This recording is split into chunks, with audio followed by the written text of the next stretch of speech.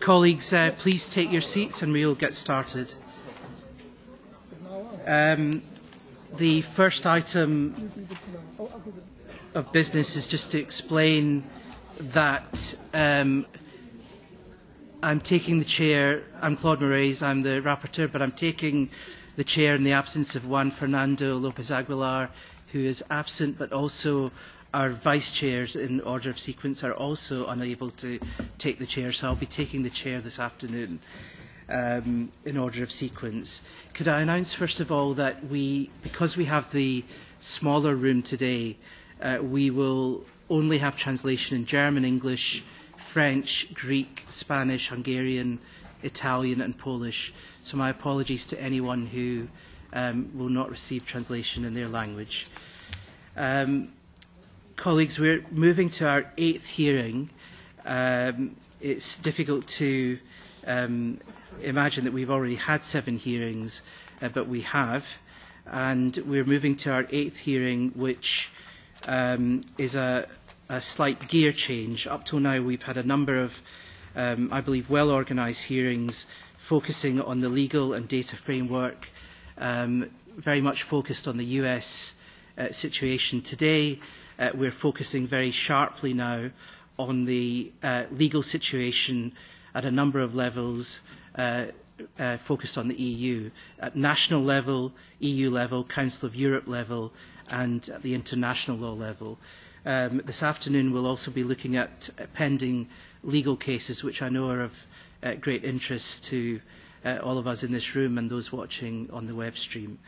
Um, without uh, further ado, I want to um, introduce the speakers, but just to, um, before the three presentations, I wanted to um, just explain again that we will, because of the tightness of time, and because we've added an additional speaker in the second session, um, and because a number of our shadows are not present, uh, we will take, um, after the presentations, uh, the shadows, myself as rapporteur and questions from the any members who want to speak and then we'll take the questions with the permission of the shadows given that we don't have many of the shadows present. Is that okay with my colleagues? I'm just looking at my colleagues to see if that's okay. Given that there's only one shadow present at the moment. Axel, is that okay with you? if you're nodding, that's, that's, that's, I'm having a conversation with my one shadow colleague here. If everyone else just wants to uh, Just, uh, is that okay with you, Mr. Voss? Um, given there is one shadow present, I think that's how we'll proceed. Um, colleagues, uh, as I said, we're going to focus now on three presentations covering the different fields of law um, and this gear change of looking at whether uh, fundamental rights and law has been breached in relation to the alleged surveillance activities uh, that we're looking at. Uh, first of all, international law, then the ECHR, and then EU law. Um, the first um, speaker, Professor Martin Scheinin, is um, going to deal with the international law. Um, he's over here, the international law perspective. Um, he's currently professor at the European University Institute. He was formerly the UN Special Rapporteur on the promotion and protection of human rights while countering terrorism. Professor Scheinin is also leader of the so-called SURVEILLE Project, uh, financed by the seventh EU Research Framework Programme. The SURVEILLE Project deals with ethical issues, legal limitations and efficiency of surveillance. Ms, uh, Professor Scheinin uh, will cover in particular uh, the international law framework. Um, Professor Scheinin, you have the floor and you're going to speak for 10 minutes. Thank you very much, Mr. Chairman. Distinguished members of the European Parliament, ladies and gentlemen, it is a great honor to appear before this esteemed committee in this important matter of inquiry. As the Chair just explained, my task is to look into the international law issue as to whether the electronic mass surveillance mainly by the United States and the UK authorities, amounted to a breach of international law. The short answer to the question of lawfulness is that both of those countries have been involved and continue to be involved in activities that are in violation of their legally binding obligations under the International Covenant on Civil and Political Rights of 1966. This covenant is one of the main United Nations human rights treaties ratified by 167 countries in the world and uh, a predecessor uh, in terms of drafting to the European Convention of Human Rights, although the European Convention was finalized earlier. Neither the US nor the UK have accepted the right of individual complaint under the Covenant, which would allow the pertinent quasi-judicial body of independent experts, the United Nations Human Rights Committee, to assess whether the country violated the covenant in respect of a specific individual. There are nevertheless two other mechanisms at the level of international law through which the same committee can address treaty compliance by these or other countries. Both the UK and the US have accepted the procedure for interstate complaints under Article 41 of the Covenant on Civil and Political Rights. Even this procedure has not been resorted to so far. Um, the fact that two Western democracies are involved in what appears to be a massive interference with the privacy rights of EU citizens and others, coupled with the unavailability of individual redress, would provide an instance where the EU countries should seriously consider triggering the interstate complaint mechanism. Independently of that option, both countries are subject to the single mandatory monitoring mechanism under the Covenant, the duty to submit periodic reports for the consideration by the Human Rights Committee, which will then, in its concluding observations, assess compliance or non-compliance. By coincidence, the United States is up for such review later this week, and the United Kingdom next year. Next, I will address the question why uh, the US practices of electronic mass surveillance are in breach of Article 17 of the International Covenant on Civil and Political Rights. As you can see on the slide, the central privacy provision in the ICCPR is brief, as it, for instance, lacks a fully articulated test for permissible limitations. But this doesn't mean that there would not be a clear and binding legal norm capable of being applied through institutionalized practices of interpretation, such as complaint mechanisms or the reporting procedure. The provision prohibits unlawful interference with anyone's privacy or correspondence, and it establishes for all states parties a positive obligation to create a legal framework for the effective protection of privacy rights against interferences or attacks, irrespective of whether such interference or attacks come from the state itself, foreign states, or private actors. In 1988, Indeed, already a quarter of a century ago, the Human Rights Committee adopted a general comment number 16 on Article 17. Usually these general comments codify the committee's interpretations of a specific treaty provision based on earlier practice, including the consideration of individual complaints and state reports.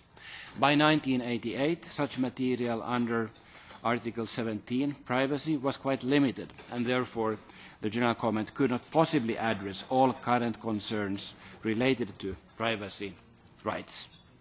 That said, as you can see from the two excerpts chosen to this slide from the general comment, nevertheless it does clearly address the question of uh, interferences requiring legal basis and the privacy rights being extended to the sphere of computers, data banks and other devices already in 1988. As United Nations Special Rapporteur on Human Rights and Counterterrorism from 2005-2011, this speaker issued an, one annual report uh, to the main intergovernmental human rights body of the United Nations, the Human Rights Council, which is separate from the Human Rights Committee, and that report is of direct relevance for the current inquiry. The thematic report on the right to privacy in the fight against terrorism was considered by the Human Rights Council in March 2010. The report includes a proposal that the Human Rights Committee would replace its existing general comment on Article 17 with a new one, building upon the work of the committee since 1988. In my privacy report, uh, as Special Rapporteur on Human Rights and Counterterrorism, I based myself on the old general comment, other practice by the Human Rights Committee under Article 17, and overall work by the Human Rights Committee, including a fresh general comment on a parallel right to freedom of movement, to develop uh, a rigorous test for permissible limitations in relation to privacy rights. The test includes these cumulative conditions for the determination whether an interference with privacy rights is justified or whether it amounts to a violation of the Covenant on Civil and Political Rights as a matter of international law. Restrictions must be provided by the law. The essence or core of any fundamental right, including privacy, is inviolable. Restrictions must be necessary in a democratic society. If there is discretion in implementing restrictions, that discretion must not be unfettered. It is not necessary to serve a legitimate aim. The effects of the restriction must be proven to reach that legitimate aim. Restrictions must be proportionate, which means they have to be appropriate. They must mean the least intrusive uh, method, and they must provide proportionality in relation to the actual legitimate interest served. And finally, restrictions besides complying with privacy itself must not result in violations of other human rights. In the written uh, text of this statement, I am going through these elements of a cumulative permissible limitations test and concluding that the uh, overall e-surveillance architecture developed by the National uh, Security Authority of the United States did violate uh, several elements of the uh, permissible limitations test, resulting in a breach by the United States of Article 17 of the ICCPR. In other words, we are going beyond what could be justified as permissible limitations. The surveillance conducted constituted an unlawful or arbitrary interference with privacy or correspondence, uh, and this conclusion follows independently from multiple grounds. Due to time constraints, I'm only referring to some of them. Uh, the surveillance was not based on existing provisions of law as required by human rights law. It was based on vague and broad provisions of the Foreign Intelligence Surveillance Act and the operation of a secret court um, resulting in secret case law not allowing individuals to adjust their conduct to something which could be uh, foreseeable in the public domain. Furthermore, um, even if reference is made to so-called metadata, the inviolability of the core of privacy is at issue because the more systematic the collection and analysis of metadata is, the more clear it is that it becomes intrusive in relation to highly sensitive personal relations and highly sensitive categories of personal information. So metadata no longer is free game. Furthermore, the surveillance was not limited to metadata. Metadata was just a trigger that then allowed for accessing also so-called content data. I will skip the other parts of the application of the uh, test for permissible restrictions and uh, simply move to addressing some work within the current SURVEILLE project mentioned by you, Mr. Chairman. Uh, you have in your files uh, copies of some pages of our matrix of surveillance technologies. I see that on the screen the graphics haven't come through properly. It's a multiple, uh, multi-dimension and multidisciplinary assessment of surveillance technologies where the fundamental rights scoring is basically based on two factors, the importance of a fundamental right in a given context, and then the depth of intrusion, which are multiplied with each other, resulting in a maximum score of 16, and then subject to two, further revisions as to whether judicial authorization was given and as to the reliability of the assumptions behind the assessment. SURVEILLE work continues to develop this semi-quantification of surveillance tech technologies. Uh, we are comparing the fundamental rights intrusiveness score with a technolo te technology assessment usability score, and then adding to that assessment traffic lights, red, yellow, green, related to ethical issues raised by uh, the use of surveillance technologies. Mr. Chairman, in my written statement, I referred to some other developments at the United Nations level. Uh, in addition to the question of a general comment our, under Article 17 and current compliance with Article 17 of the ICCPR, um, Germany has taken an initiative of an amending or additional protocol to the Covenant on Civil and Political Rights, uh, which is an issue we're studying, but that nevertheless cannot um, make less important the need to assess under the current status of law violations of privacy rights. Um, my statement concludes with a number of recommendations, starting that the Parliament should carefully study the outcome of Human Rights Committee's consideration of the US periodic report later this week, Uh, the Parliament should consider the option of initiating an interstate complaint in relation to the United States for breaches of Article 17 of the ICCPR.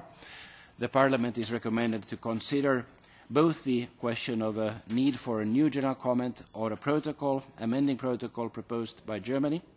Furthermore, the Parliament is recommended to keep itself informed of domestic and European efforts to address the involvement of the United Kingdom and its GCHQ in massive intrusions into the privacy of EU citizens with a view to determining the need for its own action. Further, Parliament is recommended to pursue its own line of work in relation to the issue of intelligence oversight in Europe, both at national and EU level. And finally, uh, Parliament is recommended to support continued research, including under Horizon 2020, um, related to the right to privacy, the right to the protection of personal data, and the challenges posed by surveillance and evolving surveillance technologies. Thank you, Mr. Chairman. Thank you very much, Professor Scheinin, and thank you for um, sticking to your time. Just to repeat that the, your full presentation is, up, is now being uploaded to the Libe uh, website, including that presentation uh, for anyone who wants to see the full presentation. Um, I'm going to start with the shadows, uh, beginning with uh, Mr. Voss.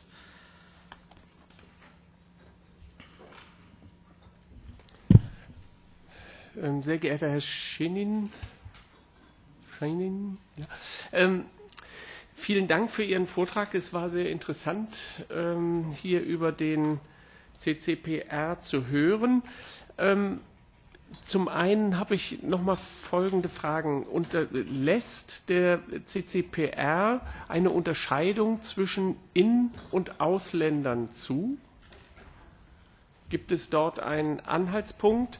Dann darüber hinaus gibt es nur Rechtsschutzmöglichkeiten der Staaten oder auch der Bürger, die dort vorgeschrieben werden?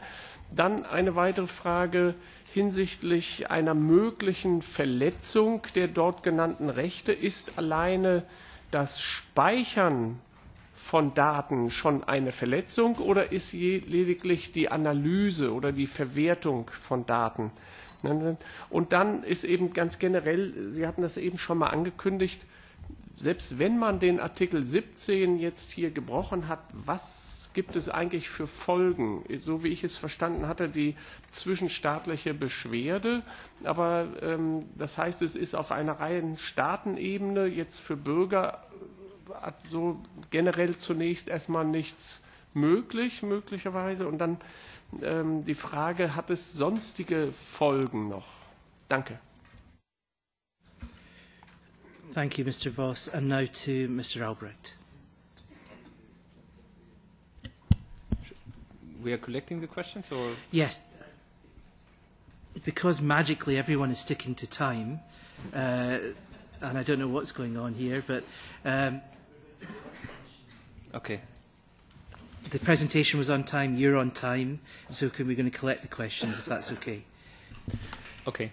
First of all, uh, thank you very much for that important outline. Um, it's, it's obviously an issue that uh, there are infringements, at least possible infringements to international law, and no uh, government is pointing at it. Um, so my question uh, would be, uh, is there any um, indication that uh, any governmental, uh, so any, any government or any international organization is at the moment investigating these possible infringements? And um, uh, what would you expect uh, with regard to ongoing uh, infringements of these rights to be done now from political level? Because obviously uh, this needs to be also looked at from, from us and from the national parliaments in Europe.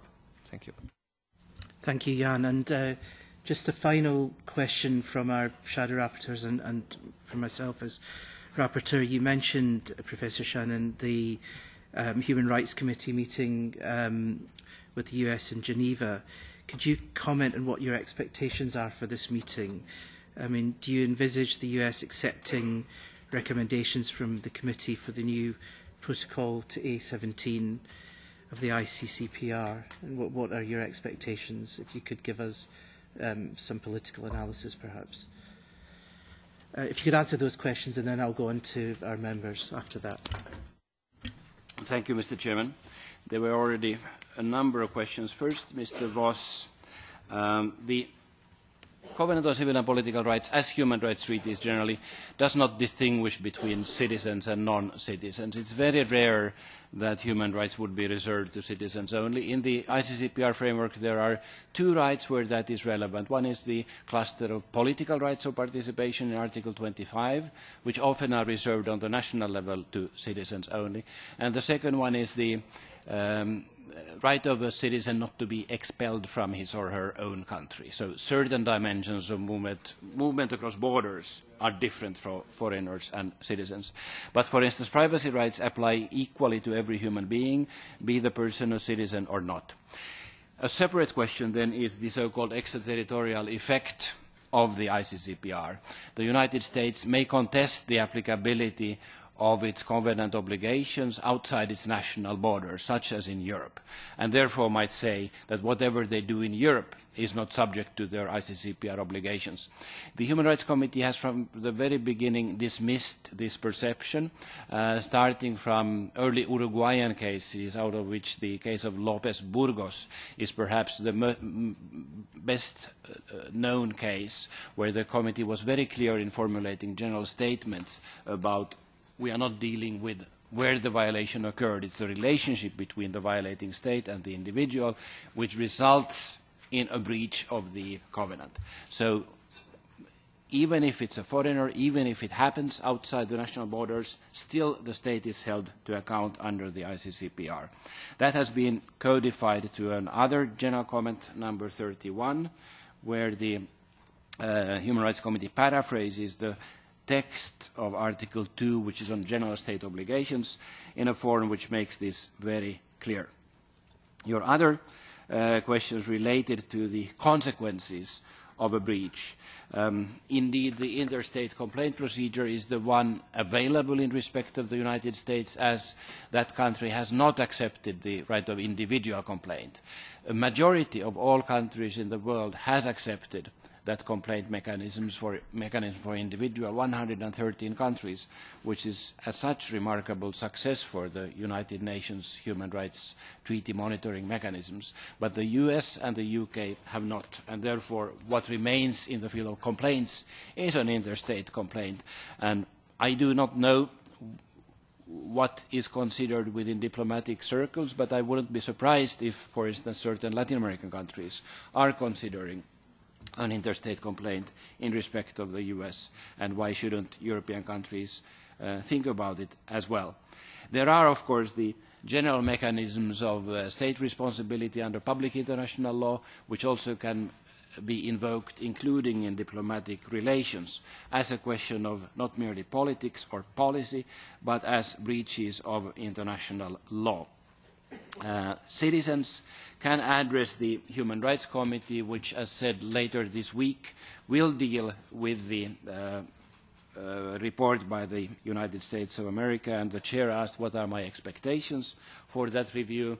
Um, we will have a set of concluding observations on 1st of November by the Human Rights Committee. The committee has posed a question, question number 22, or a line of questions related specifically to the NSA surveillance architecture, and one can expect at a minimum an expression of concern or grave concern, uh, perhaps a clear statement of incompatibility with Article 17. The jury is still out. The committee hasn't even met with the US, so I cannot tell what option will be chosen.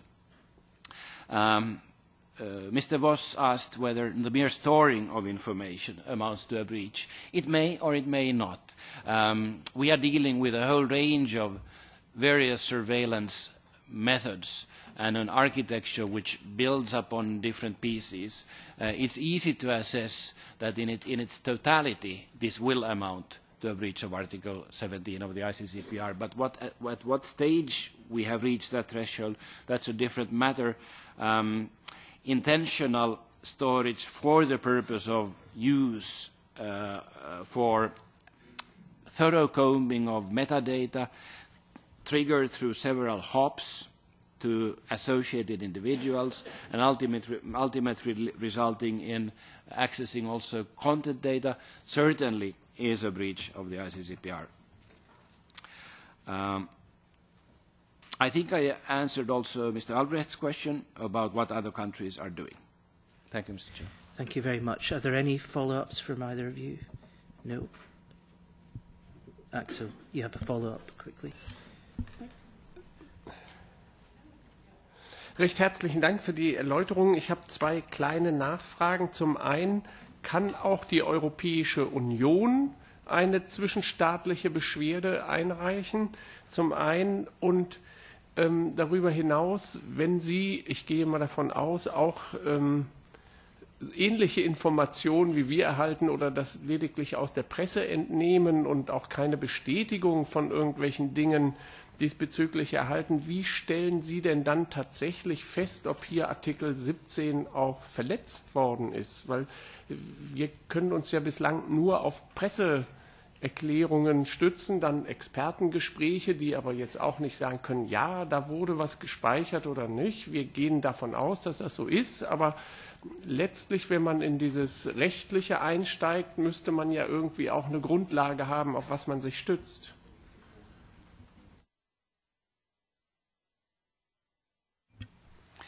The answer to the first question is no, and the answer to the second question is yes. Uh, the EU is not a party to the Covenant on Civil and Political Rights, only states that themselves have ratified the Covenant and accepted the interstate complaint procedure can lodge a complaint against another state. So it, we are in the hands of individual states. But as to the question whether we have enough facts, I believe we have, since uh, the United States has, better than the UK, I would say, admitted the existence of certain elements of those surveillance programs. So we have the basic uh, facts as admitted by the US authorities. Furthermore, we know the provision of the Foreign Intelligence Surveillance Act, which has been used as legal basis. And we know how vague and broad it is. It's incomprehensible for the average citizen to understand what will be the outcome of the application of that provision. We also know that uh, the provision has been administered by a secret court through secret case law, where the uh, participants to the proceedings are under strict gag orders. Uh, and we also know that both the congressional Uh, oversight bodies in the US and the FISA court itself have admitted that they have failed in exercising oversight. So I would say that the, the criterion of prescribed by law, law meeting the qualitative requirements posed by human rights treaties, that has been proven. So the, the, the surveillance architecture fall, fa fails already on the first ground, lack of legal basis. Thank you. Now a question from uh, Mrs. Sippel. Brigitte, your question. Ja, vielen Dank. Ich würde doch gerne noch mal nachhaken zu der Frage, ob auch die EU Beschwerde einlegen kann. Nämlich könnten wir denn dem ICCPR beitreten und dann Beschwerde einlegen? Das wäre ja noch mal ein neuer Schritt. Die zweite Frage ist, diese Verstöße gegen Artikel 17. Der Eingriff in die Privatsphäre wird ja von den Staaten immer begründet mit äh, innerer Sicherheit, Terrorismus, vielen anderen Dingen. Und diese Dinge, diese Überwachungsmechanismen finden ja auch nicht erst seit gestern statt. Es gehört wahrscheinlich nicht zu Ihrer Tätigkeit. Aber haben Sie den Eindruck, dass diese Vorgehensweisen, können Sie dazu etwas sagen, ob diese Vorgehensweisen auch Einfluss haben auf die allgemeine Rechtsprechung in den einzelnen Staaten, dass das Einfluss hat auf die Wahrnehmung und Bedeutung von Grundrechten insgesamt, auch in anderen Verfahren? Und äh, sehen Sie daraus entstehend insgesamt eine Gefahr für den Bestand der Rechtsstaatlichkeit, wie wir sie bisher kennen in den einzelnen Staaten? Thank you. And a question from Mr. Enchu. You are. Uh, thank you, Professor, as well. Um, in your report from 2009 on the promotion and, uh, and protection of uh, human rights and uh, fundamental freedoms while uh, counter-terrorism. You highlighted an uh, erosion of the right of, to privacy in the fight against uh, terrorism through the use of surveillance uh, powers and new technologies. You underlined that these measures not only threaten the citizen right to pri privacy, but uh, they also have an impact on the freedom of movement, especially at borders. I would like I would like to, to, to ask you a question. Four years after, according to you, what recent development in the area of surveillance and uh, counter-terrorism still endanger our citizen right to free movement? And the second, would you assess the efficiency of the increase of the collection of information about the movement of the people regarding the objective of the counter-terrorism? And the last one is uh, what rigorous legal safeguards could be developed in order to minimize, to minimize risks to privacy generated by new policies in the area of border control, particularly in the current context, context of development of automated border control and the use of large-scale databases in the area of border management Would these best practices that you elaborated in 2009 still be re relevant in this context? Thank you. Okay, and then the final question is a supplementary from Axel Voss. Ja, entschuldigen Sie bitte, dass ich immer in, dass ich immer in Etappen ähm, wieder nachfrage. Ähm, nur die Frage ist hier, wenn Sie sagen, dass generell elektronische Überwachungseinrichtungen Artikel 17 verletzen, man aber auch zur Gefahrenabwehr oder für die Sicherheit, die nationale Sicherheit oder wie auch immer ja elektronische Überwachungseinrichtungen durchaus auch nutzt. Wo ist denn hier die Abgrenzung in dem CCPR zwischen der des Hineingehens in, in die Privatsphäre einerseits und die Abgrenzung ähm, zur Abwendung einer Gefahr für die nationale Sicherheit oder überhaupt einer allgemeinen Gefahr. Thank you, Axel. And uh, Professor, do you want to make your final um, answer and then any conclusions you want to make? Thank you. Thank you, Mr. Chairman. Maybe I start with Mr. Voss. Um, Of course, um, countering terrorism or other forms of serious crime is a pressing social need, a legitimate interest which allows for restrictions also into the sphere of privacy. And you asked some sort of hypothetical, where could I draw then the line? Um, we, we can discuss the question of data retention at European level, where telecommunications providers and internet providers have been obliged to maintain the metadata for between six months to 24 months. and then only through proper authorization processes, usually individual judicial decision, the authorities then get access to that data. That could be seen as a safe model. It has been controversial even in that form in Europe, particularly because some people say that 24 months is a very long time and we shouldn't have such long duration for data retention. Others say you cannot trust the companies to store it properly, that there will always be abuses which result in, in, in failures and hence privacy violations re resulting from the mere storing. But I, I think we have, we have chosen a method which is based on publicly available legislation the Data Retention Directive and its national implementation, which gives much better foreseeability to individuals in Europe than is, for instance, the consequence of United States legislation. Where we perhaps need to sharpen uh, also the uh, laws in Europe is then the authorization procedures. What level of individual suspicion is required in order that the police or the prosecutor can address that data. In the SURVEILLE project, we put a lot of emphasis on the, uh, on the institution of judicial authorization because that immediately lowers the fundamental rights int intrusion under our scale. And that, of course, is a safe model um, building on, on the long tradition of judicial authorization in matters which uh, extend to uh, the sphere of privacy or otherwise result in interferences with fundamental rights. Uh, Mrs. Sippel asked whether the EU can accede to the Covenant on Civil and Political Rights. Unfortunately not. The old UN human rights treaties are, have been written so that only states can accede.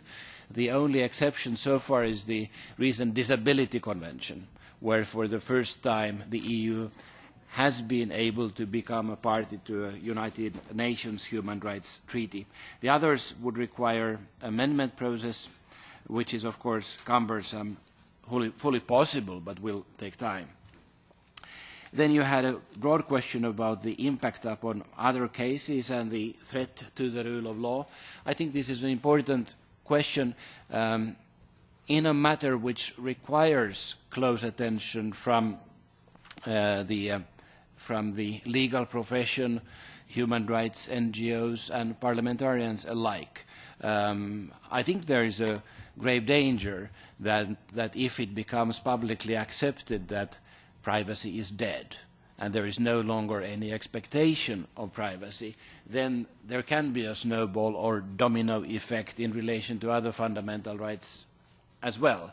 And therefore it's important that when this is the first case or the primary case where we are now confronted with new challenges posed by new technologies, that, that it, it receives the proper thorough attention uh, it requires, also from the more general perspective of protecting other fundamental rights.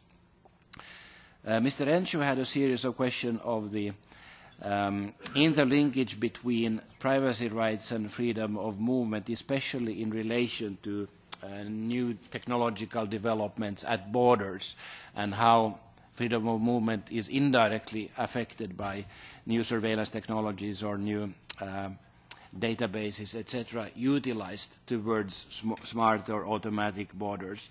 This is an important field of work which requires attention also in the broader surveillance context.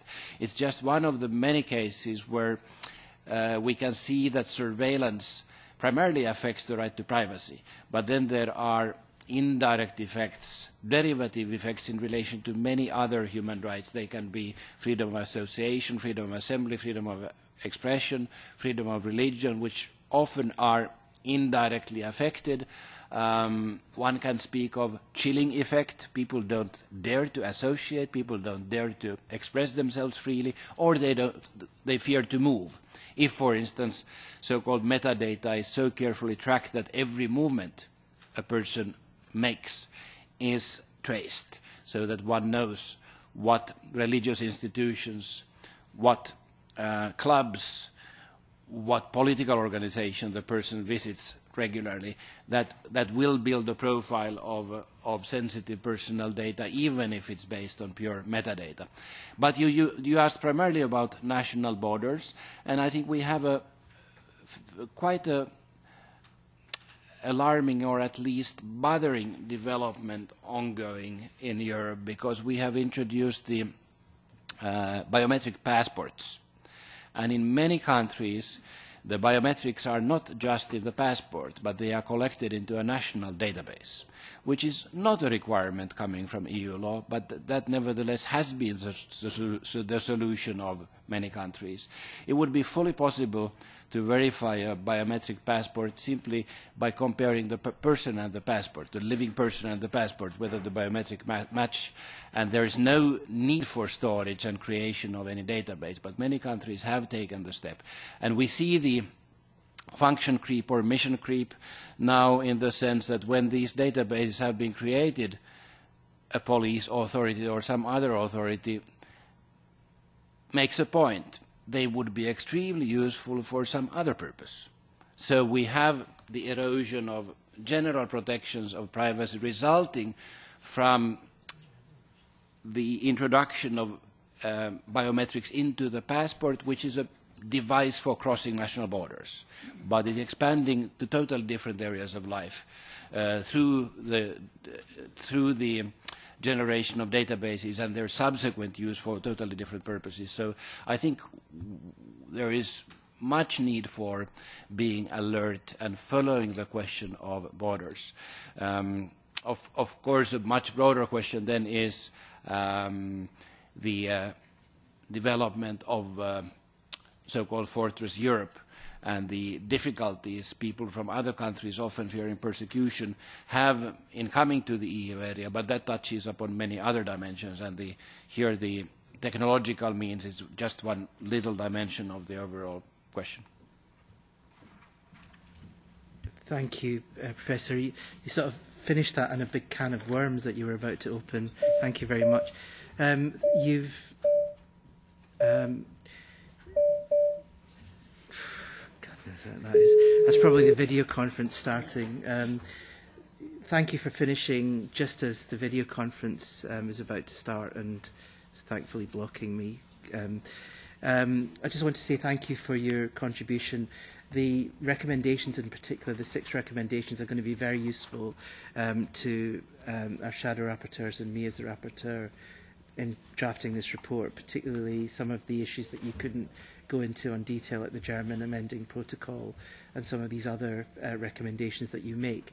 This is all being uploaded now to the Libe website for colleagues who want to um, see it, and it is very useful um, to look at. Um, and thank you for everyone um, being very succinct and for our session finishing so before time that we may not even be ready for the video conference. Um, are we ready? C'est exactement comme Skype, mais c'est une ligne sécurisée. Voilà. This is spookily going according to plan.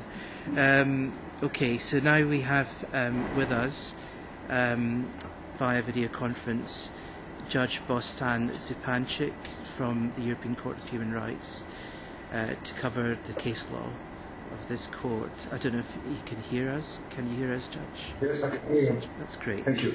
Uh, thank you very yes. much for your presence today, and um, uh, thank you for being with us. And um, you have the floor if you're ready to make your presentation for 10 minutes. Um, well, this is a very complex problem, legally speaking, of course, but primarily it is not a problem of the European law so much, and especially not of the law of the convention. It is a problem of uh, American law. Uh, Patriot Act, on which the whole electronic surveillance and other forms of spying were based, would have to be analyzed by the American courts and in the end by the American Supreme Court, and they have the power to strike it down in case they need to find that it is unconstitutional, which it certainly is. Whether this is going to happen or not is a different story, of course, and it takes years before a case will come to the American Supreme Court, but eventually it will come uh, probably, and then in that case, the court will find what the problem is, which the problem is based on particular law, particular section of the Patriot Act and other legislation, which is the basis for the problem that we are talking about. Then, when it comes to European law, European Court of Human Rights, uh, the case of the European Court of Human Rights, uh, I must first make, make a disclaimer, of course, that I'm not speaking in the name of the court. I'm only speaking in my own personal name uh, as somebody who has been here for 15 years and who is to some extent informed of what is going on. Um, the aggrieved party in this case, if it were to happen, is of course one of the citizens of Germany, France, Italy, of any of the EU countries or uh, countries concerned that have signed the European Convention of Human Rights, 47 countries, and that person would have to bring a case before the domestic courts, exhaust all the domestic remedies on the issue, and then bring it to the European Court of Human Rights, which again might take years to materialize. Um, in the European Court of Human Rights, of course, we never had a case of that kind of massive electronic surveillance of citizens. Um, uh, and, and, of course, it's therefore very difficult to say what would happen, except that the country, the United Kingdom, France, Germany, any of the involved country who has collaborated with NSA on this problem would have to be would have to be uh, a sued party, would have to be involved as a as a defender in this particular case, and then of course uh, then of course the question would be how would it defend itself um, in front of the European Court of Human Rights. There is one doctrine which applies both in the United States and in the European Court of Human Rights, which is called the doctrine of political question. Political question doctrine, uh, especially in the United States and Europe, in French law it's called acte de gouvernement, um, is a situation in which the courts, this would not be true of the European Court of Human Rights, the courts do not want to get involved with uh, uh, questions which, which, which entail national security. They don't want to get involved sometimes with questions which entail, which concern national defense. Um, and uh, it is possible, for example, that the American Supreme Court, if it came to that, would employ that doctrine. Uh, as I said, it's called the doctrine of uh, political question, political question doctrine. Um, in the European Court of Human Rights, this doctrine uh, was used under French name of acte de gouvernement, which is a very feeble doctrine, and I don't think it would be used here.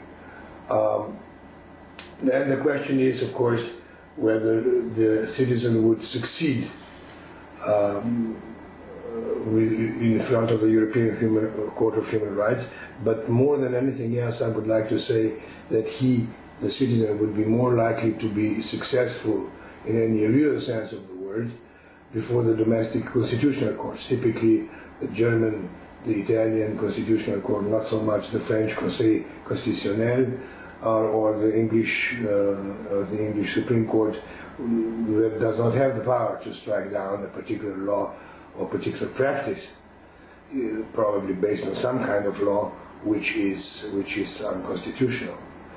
In other words, I would think that in principle this question is more a question of constitutionality of national law rather than constitutionality uh, in terms of the European conventionality, so to say, of the European Convention of Human Rights. Moreover, we don't have the power to strike down the law on which this kind of unacceptable massive surveillance is based, whereas national courts, of course, vis-à-vis -vis particular uh, agencies of the of the national state would have that power, have that power to do it. Um, when it comes to particular cases of the electronic surveillance, we don't have too many in, in the European court, and mostly they are connected, just like in American law, with the um, criminal procedure. In other words, the question would be whether the evidence uh, so collected vis-à-vis -vis a particular suspect or defendant in a criminal case would be admissible or not. Uh, especially rich in this respect is the American constitutional law, which I used to have taught, so I know a little bit about it, uh, where the right to privacy, of course, is, is specifically uh, connected with the admissibility of evidence in criminal procedure, uh, and that, uh, well, I should say perhaps to conclude a few words about the right to privacy. In the European connection, we have the so-called Persönlichkeitsrechten in German law, or we have the droit de personnalité in French law, which are protective of the individual's privacy. No such thing exists in the United Kingdom, uh, where I taught on this, or lectured on these questions recently.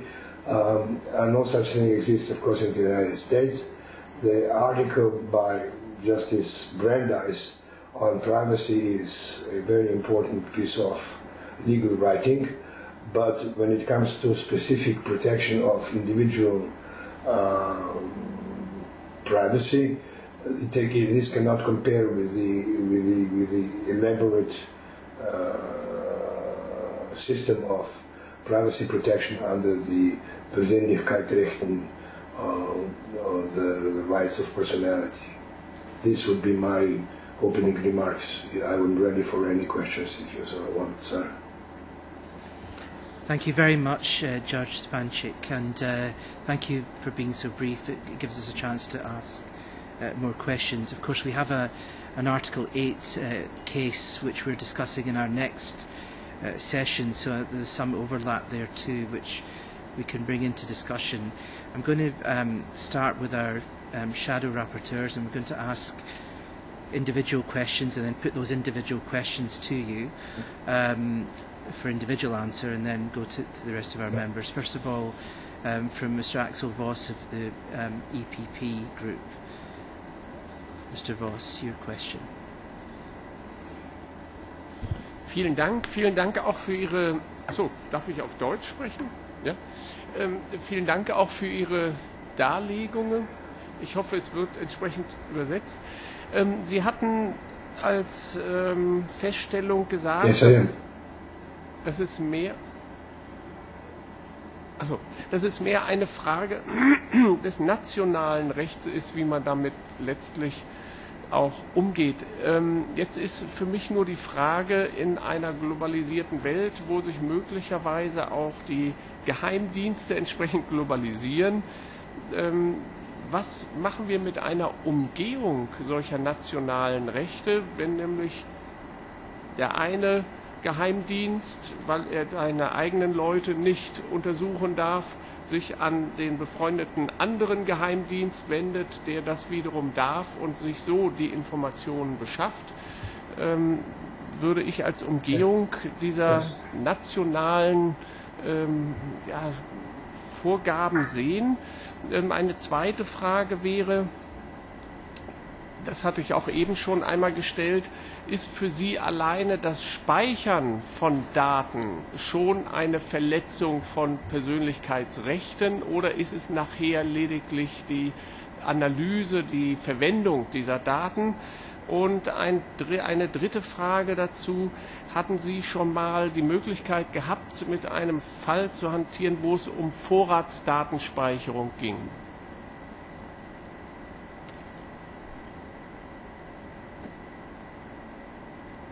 Uh, thank you very much for the questions.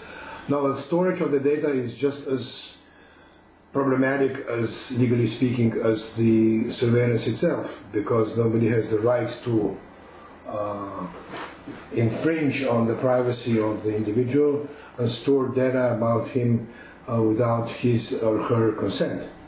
Uh, that is clear. Uh, then, could you repeat the second question? inwieweit für Sie das Speichern von Daten alleine schon eine Beeinträchtigung der Persönlichkeitsrechte sein könnte? Oder lediglich, oder was heißt lediglich, aber oder eben die Verwendung oder Analyse ist dann eine Beeinträchtigung oder das Speichern für sich alleine gesehen auch schon?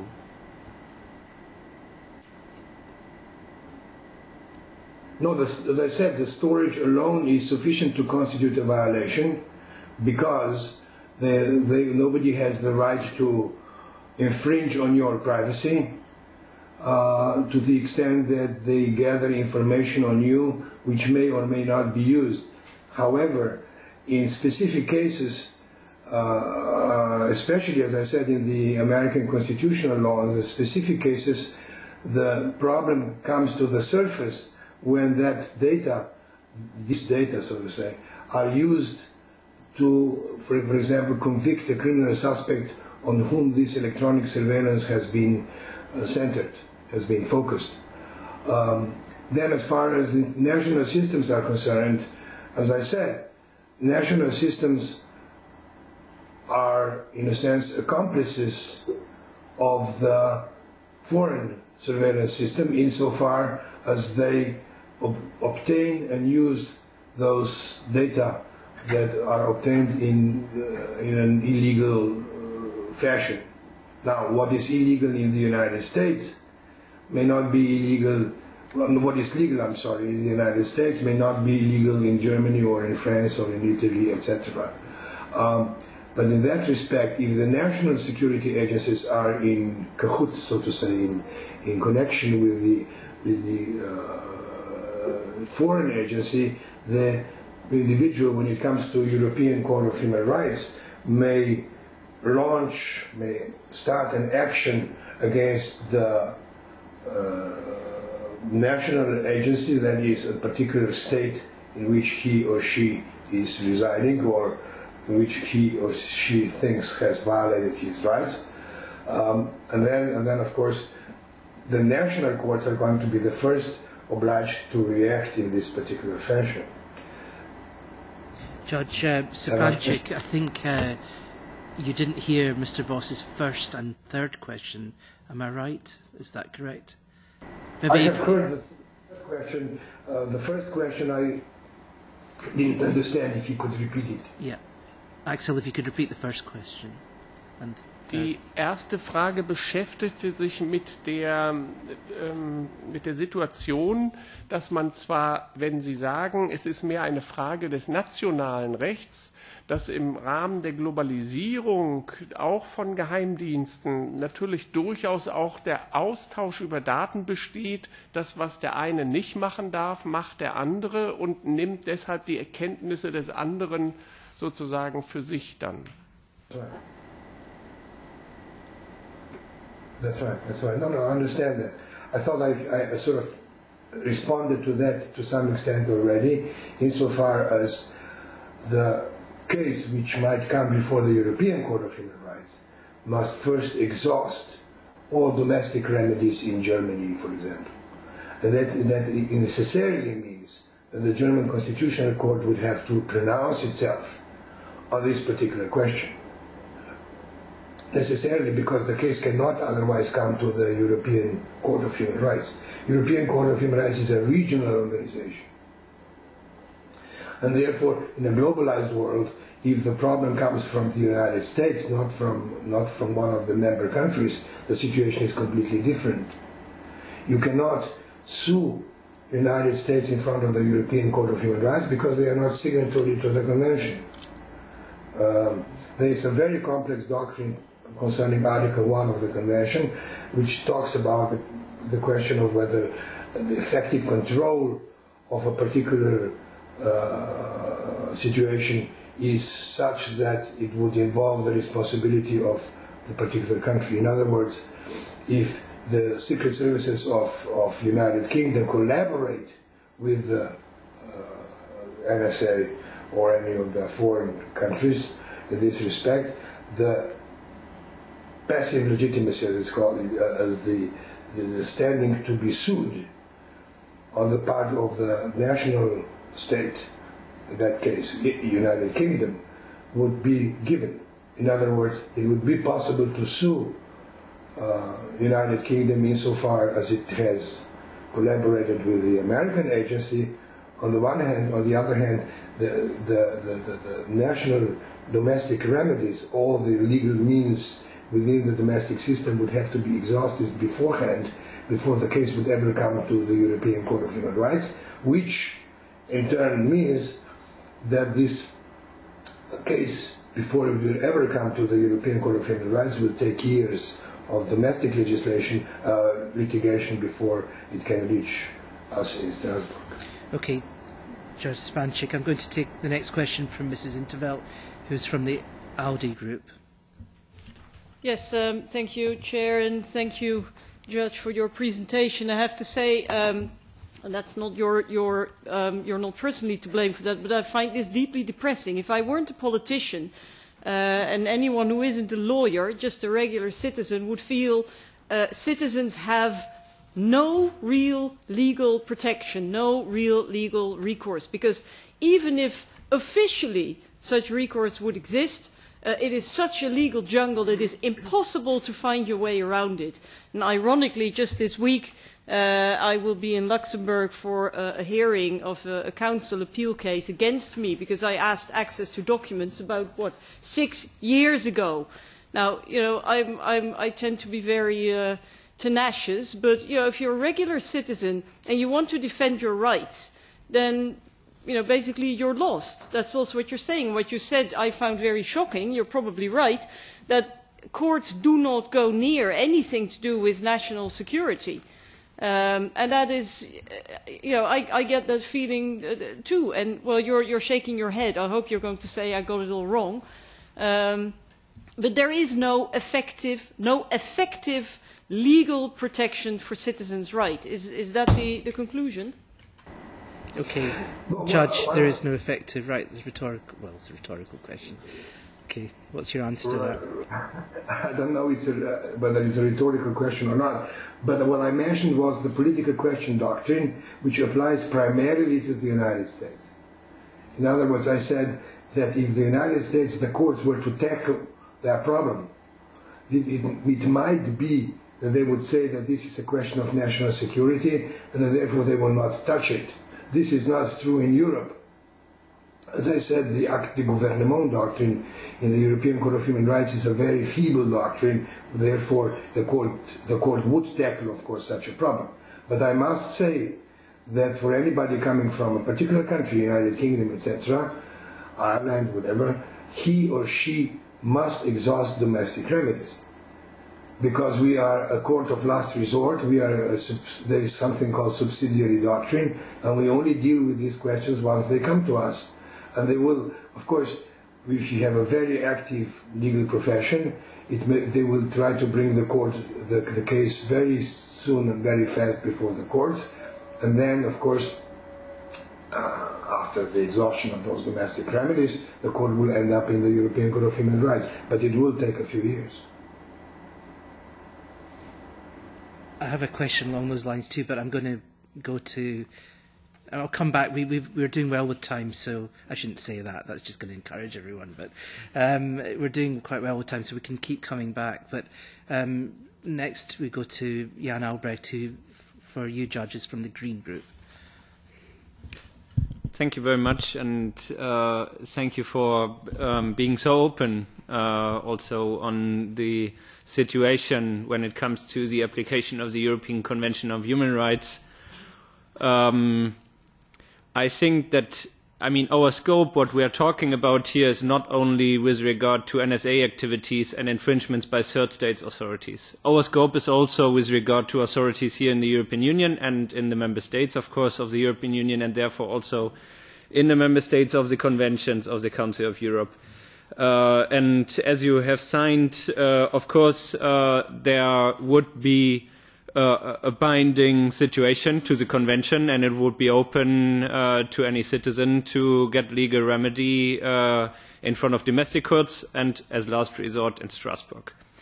Now, there has been the one or another case already in Strasbourg on uh, personal data and privacy in the past. One of it uh, was the case Marper versus UK, where uh, it was said by the court, more or less a bit uh, shortened, that an investigation purely into the blue without having uh, uh, um, a suspicion vis-à-vis -vis the subject is not compatible with the right to privacy.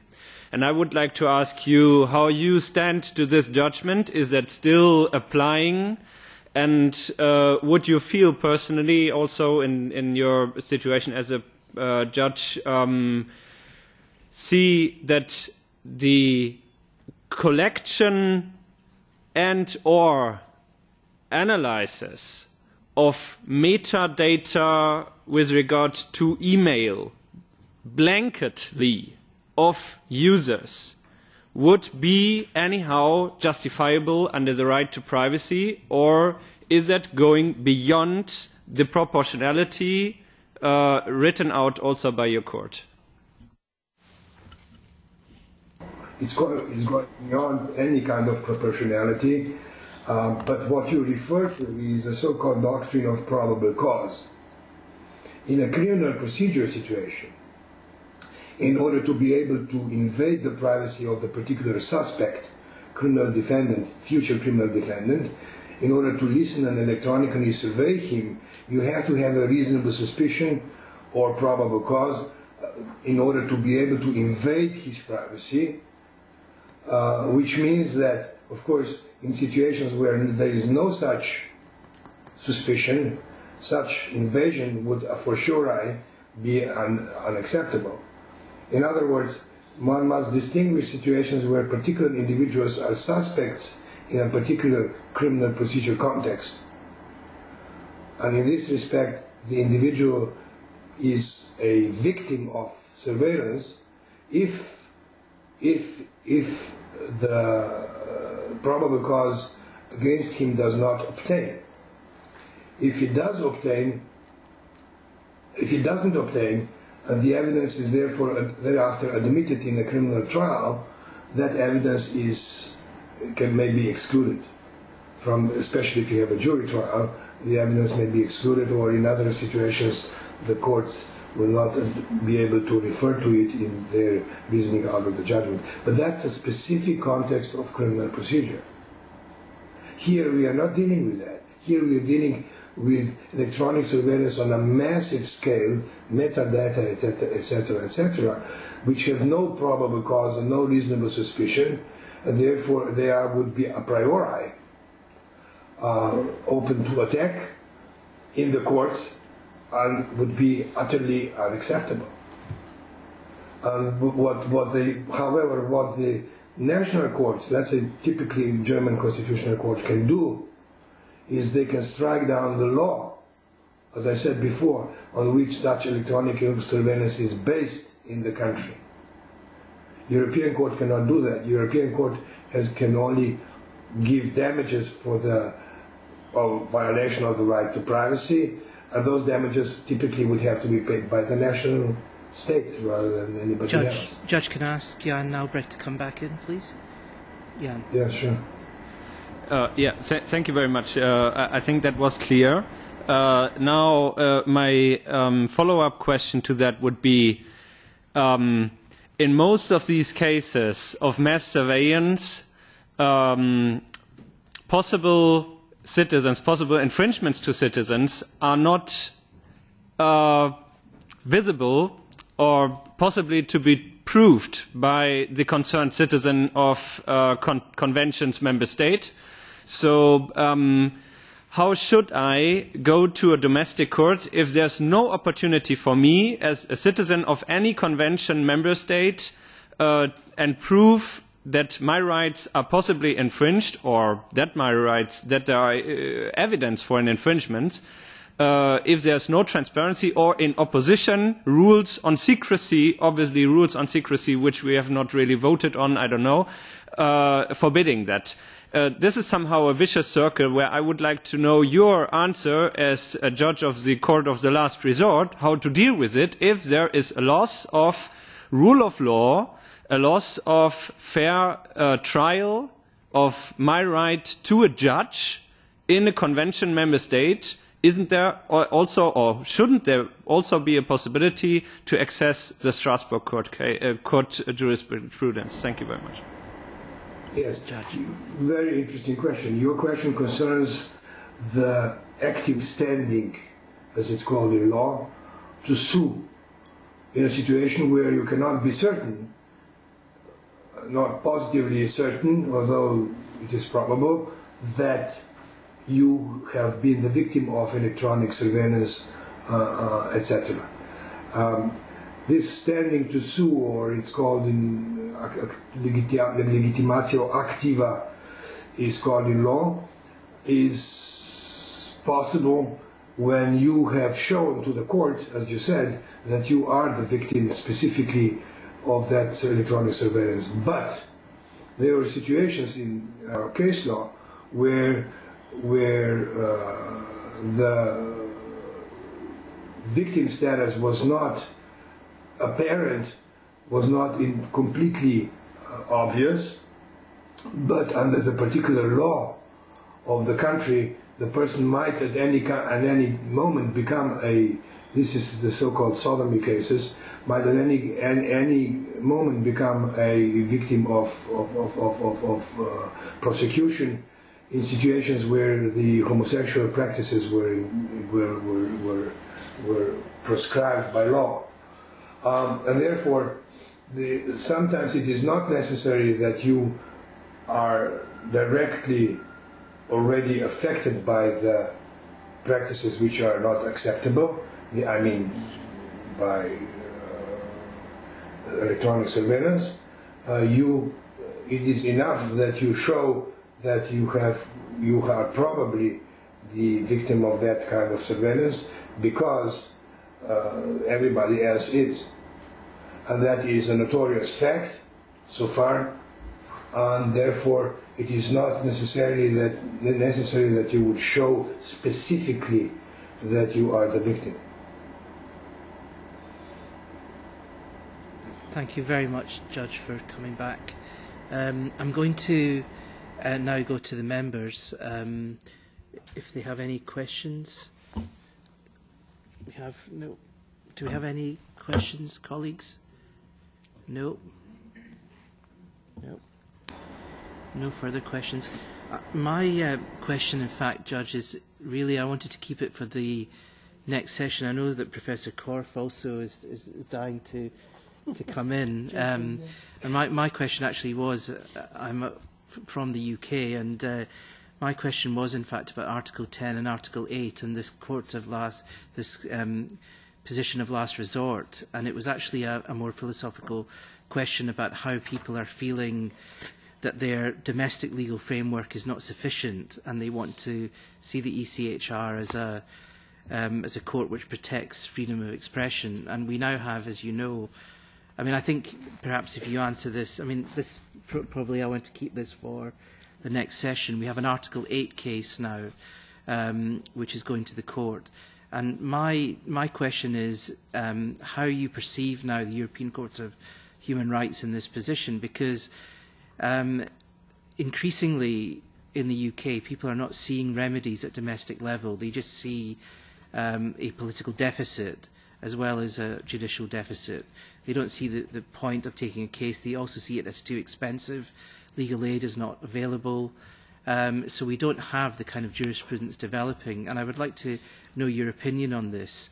And also you have this extraordinary situation where journalists who um, would not really want to defend the ECHR, and you know that there's a movement for us to leave um, the ECHR, but now suddenly um, this is becoming, uh, people want to stay in it post-Leveson, as you probably noticed, which I think is a paradoxical position. I'm not going to make any other comments. but it would be interesting to know what you think um, uh, of that situation, because I think uh, we, we have a deficit occurring on national jurisprudence in our, in our country. Um, that's, that's a question I really wanted to keep for, um, for other colleagues, but um, it would be interesting to know your point of view on this. You have, you have a deficit concerning what? Domestic remedies uh, in the UK. Um, so, for example, as Mr Albrecht said, if you want a domestic remedy um, in a member state like the UK, it's actually very difficult. You're not going to get legal aid. You're not going to be able to uh, to take um, a case very uh, uh, very efficiently. The Article 8 case, which has been taken, of course, is a you know is a massive fundraising effort that's being taken by a number of organisations. And if you if you are if you're the victim of um, surveillance in the UK, it's very difficult as an indiv private individual to take such a case, and we've seen this um, uh, illustrated during the Leveson inquiry.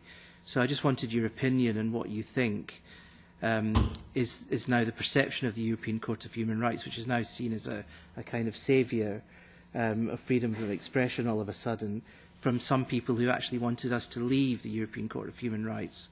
And as you know, there is a movement for the UK to leave. Um, uh, yes, well,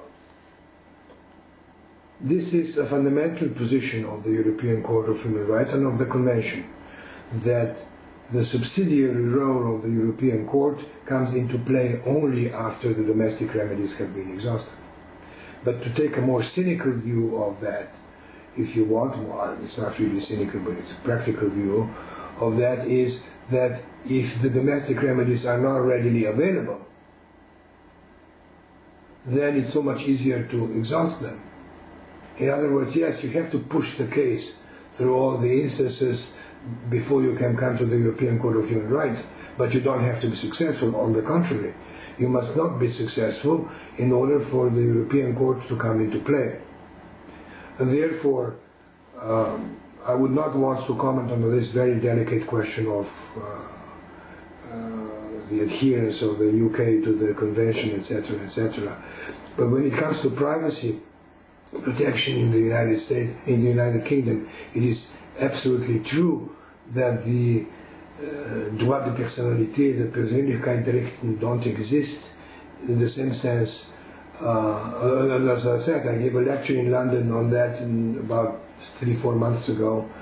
And the, it became apparent during the discussion that they have read the Brandeis article, for example, which I mentioned before, but they don't have the domestic means, exactly as you say, to push the case um, and succeed in the domestic context. But then, all the more so, if they don't succeed, do they can they bring the case to the European Court of Human Rights?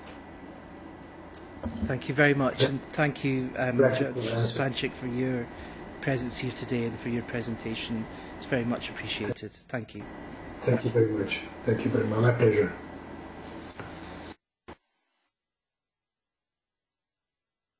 Okay, and now we go on to our third speaker in this Shall session. with Martin Simon yeah. so okay, so you can go to the slides.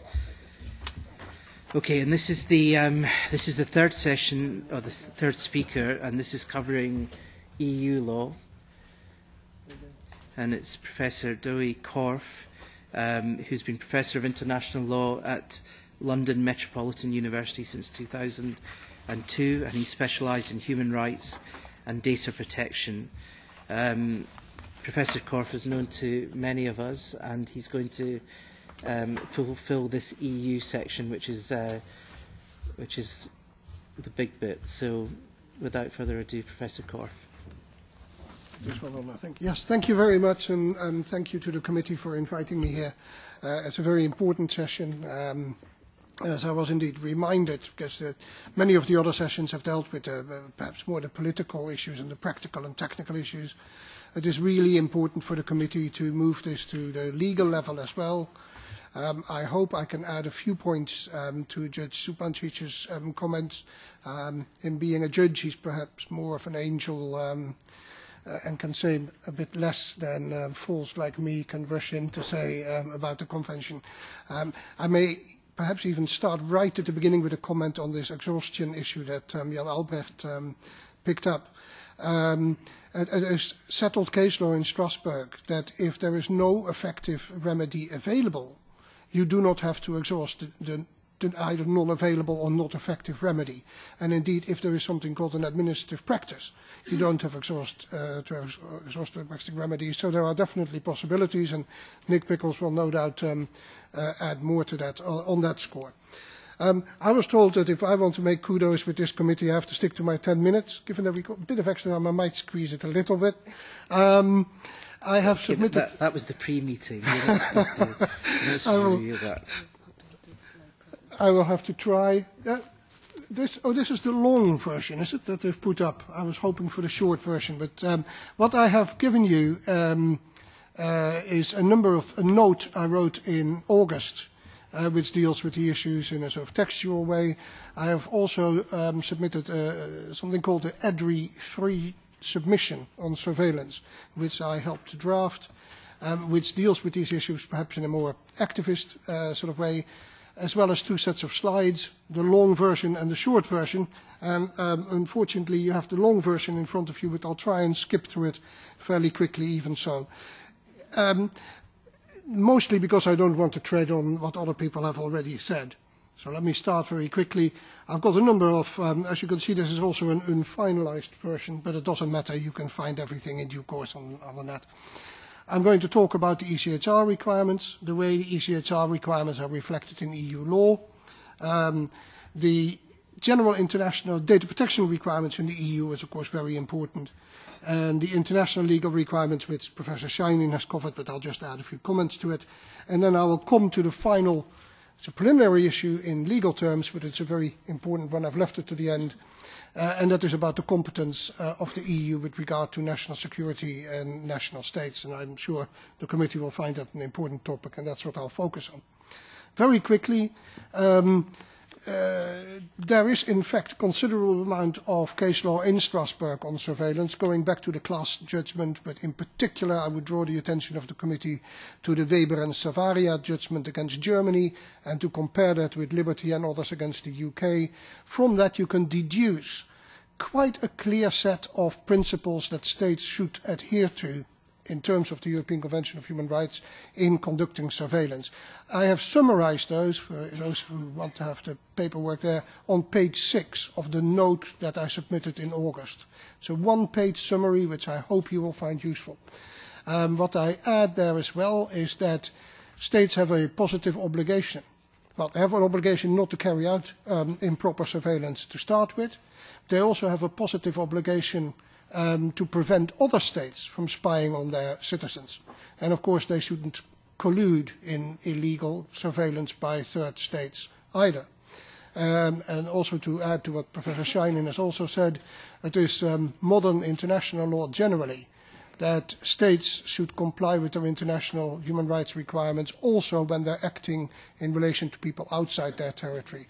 And that has been very well established by the court. The court has said very clearly states should not be allowed to do things uh, on the territory of other state parties that they are not allowed to do at home. That makes good common sense, and I think it's well something to, rem to remember. There are also very clear procedural requirements in the European Convention on Human Rights. There must be very strict control of surveillance. There must be strict time limits. There must be strict purpose limitation spelled out in the law. Um, and all that is not in existence in the systems that we have seen in the United Kingdom. And uh, Eric Pickles will no doubt be able to, uh, Nick Pickles will be able to say more about it. I'm giving you the reference to the case that he will present later on. Um, this is the bit about the extraterritorial application. I've already mentioned that. And of course, the, um, the European Convention of Human Rights is in substance uh, very similar to the Charter of Fundamental Rights. The Charter of Fundamental Rights, if anything, takes it slightly forward. It has a specific sui generis right of data protection, so it underlines the importance of data protection in EU law. I think when you look at the case law of the court, there's no case law of the court on the national security exemption. I'll come to that later. Um, but if you look at the Sabam ruling, the court was very critical of generalized monitoring of people um, even if it's for a legitimate aim, and it was very strict in applying the proportionality system. And I would expect the court in Luxembourg to apply those same principles if a case uh, with regard to national security uh, surveillance came before it.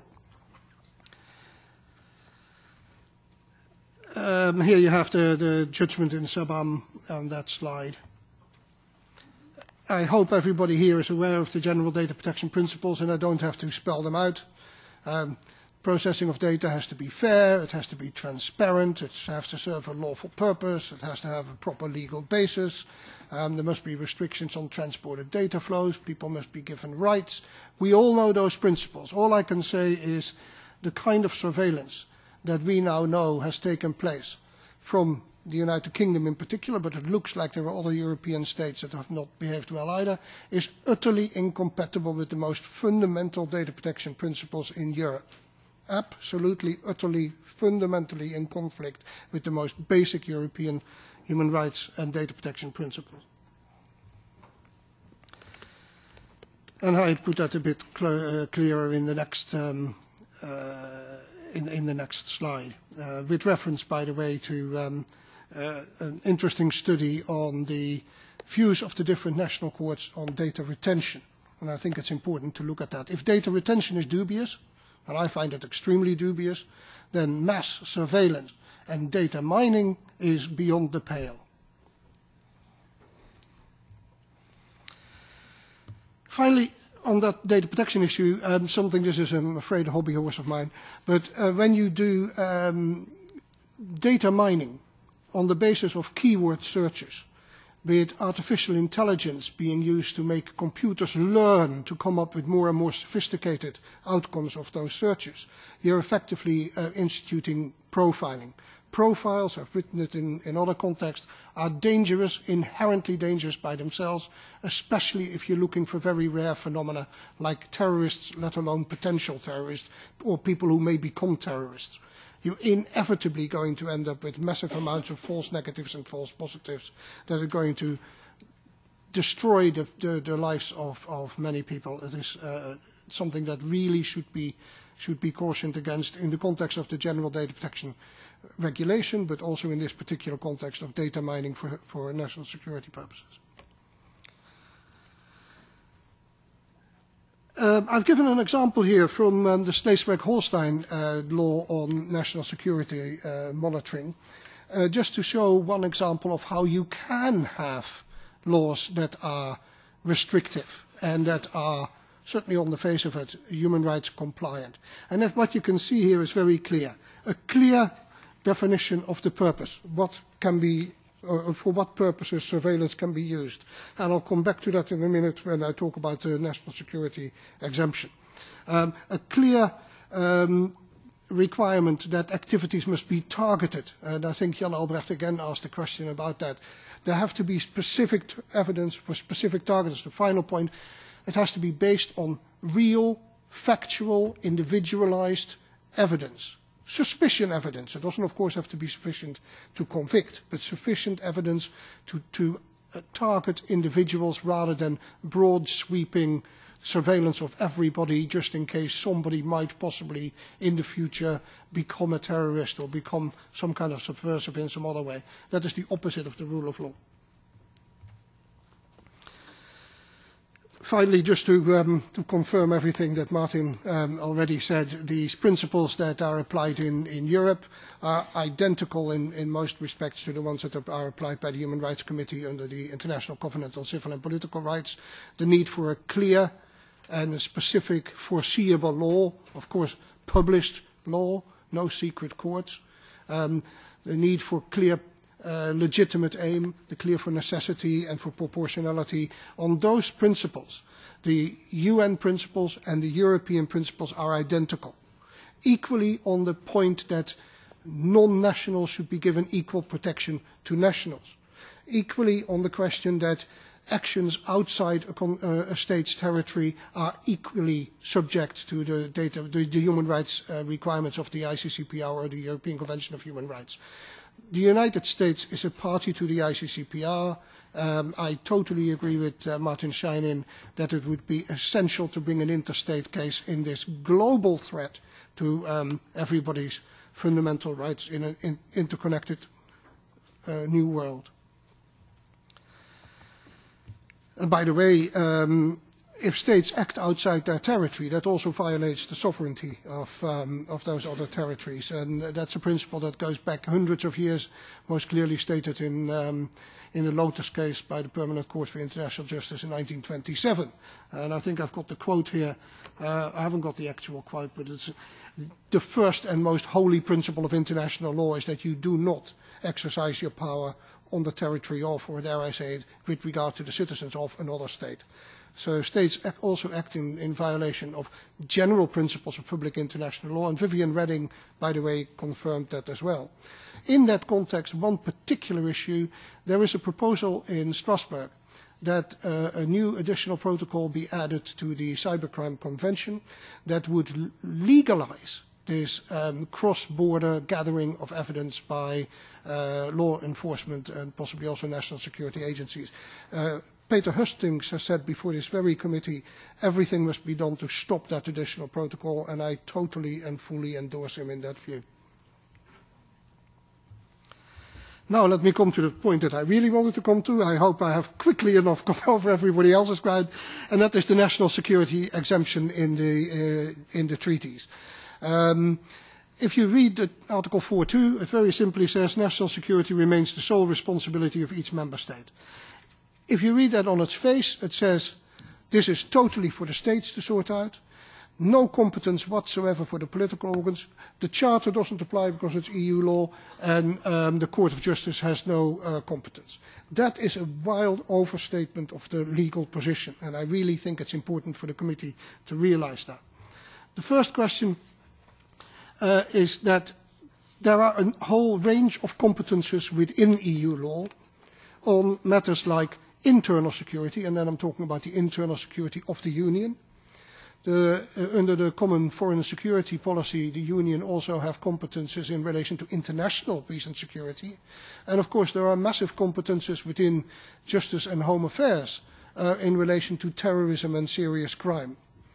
You cannot separate those other matters from national security of the individual member states.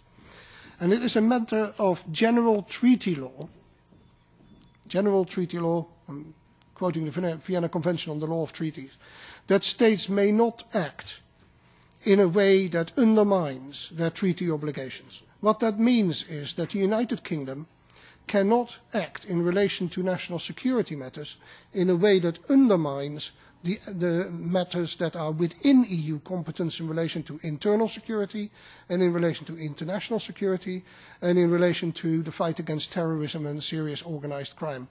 The UK and other states that spy on citizens of other countries have a duty to act in relation to their national security uh, interests in a manner that is compatible with their obligations under the treaties generally. And indeed, that goes also in, with regard to anything that might affect the fundamental rights and freedoms, including the typical European freedoms, um, under the treaties more generally.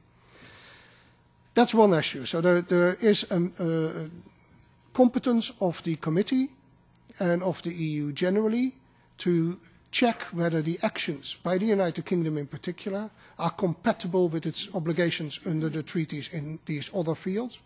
And there was, of course, also the fundamental question of what constitutes national security. Now, we have seen that the, um, the United States in particular, under FISA, has an extremely broad definition of what the NSA can do. It's not really limited to national security as anybody can reasonably understand it. it, it, it they can hoover up any data that might in any way be useful or relevant or of interest in relation to the United States international relations. It can include commercial spying, it can include political spying on totally, totally um, uh, non-violent uh, political groups such as Big Brother Watch or org or any of the other groups that I, um, I work with, but also environmental groups or uh, gay rights groups or anything uh, they, they fancy. The United, the United Kingdom's definition is also deficient. In fact, there is no definition of national security in UK law. The courts have refused to entertain it all. They said it, it's much broader than it used to be. It used to be a threat to the independence and the existence of the state. But now it can also include pandemics, environmental threats, and there has even been a case in which um, the United Kingdom refused to continue a case, a, a very serious bribery case in the UK courts because it threatened the good relations with the country where the bribery took place. And it said that too, having good relations with bad countries is also part of national security. So the concept of national security in UK law is much too wide. Uh, Professor Scheinin, in some of his submissions, has given some interesting definitions uh, in the UN instruments. I want to mention the, um, uh, the Johannesburg Principles, which were drafted by um, Article 19, but they have been endorsed by uh, a range of political bodies, I think including at the Council of Europe and at the UN.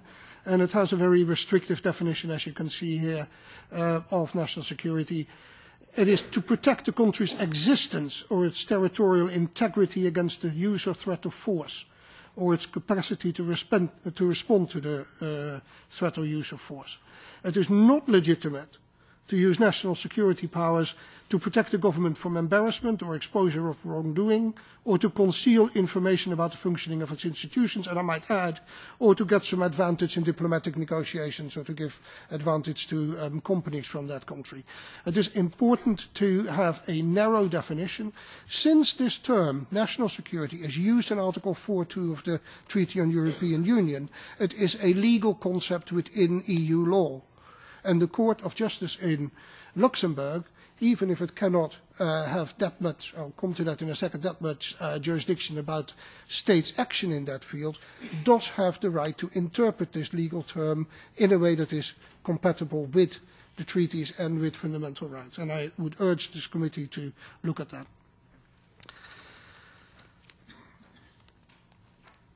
Uh, these are these broad definitions elsewhere. So let me come to my general conclusions about EU competence. I believe that the EU institutions are legally allowed to assess within their own competences whether the UK surveillance programmes and its data exchanges and its cooperation with the USA are limited to the protection of national security in the sense in which that term must be understood in international and EU law. It's a legal question. Even if the UK's actions are limited to national security as properly understood. There is still the question, as I said, of whether those actions don't undermine the competences of the EU, either joint competences or sole competences of the EU, in relation to internal security, international security, or the fight against terrorism and, and serious crime. Of course, if this committee or the court were to find that the actions of the United Kingdom and other states were not limited to national security as properly understood, then that would not be covered by the exemption in Article 4.2, and that means that those extra exemption activities would be fully uh, within the competences of this committee and of the EU to assess. And that, of course, includes in particular whether it's compatible with data protection uh, rights and principles. And as far as the US concerned, uh, the, this committee and the EU generally has the competence to check whether the, EA, the USA is acting in contravention of the EU's data protection rules in any activity carried out in the EU. And we know that EU data protection rules have uh, applied to um, uh, non-EU based controllers in certain respects. And of course, especially with regard to the safe harbour and the PNR and SWIFT agreements, I can say, I believe anybody can say, and certainly anybody who heard Connolly's presentation to this committee, the safe harbour is the most unsafe harbour you could possibly wish to, to steer your ship into. I think I will leave it at this. I hope I've more or less kept, kept my time. Uh, I just want to say at the end, I agree with uh, Peter Hustinx, my compatriot, that we are facing an existential challenge to our fundamental rights and liberties.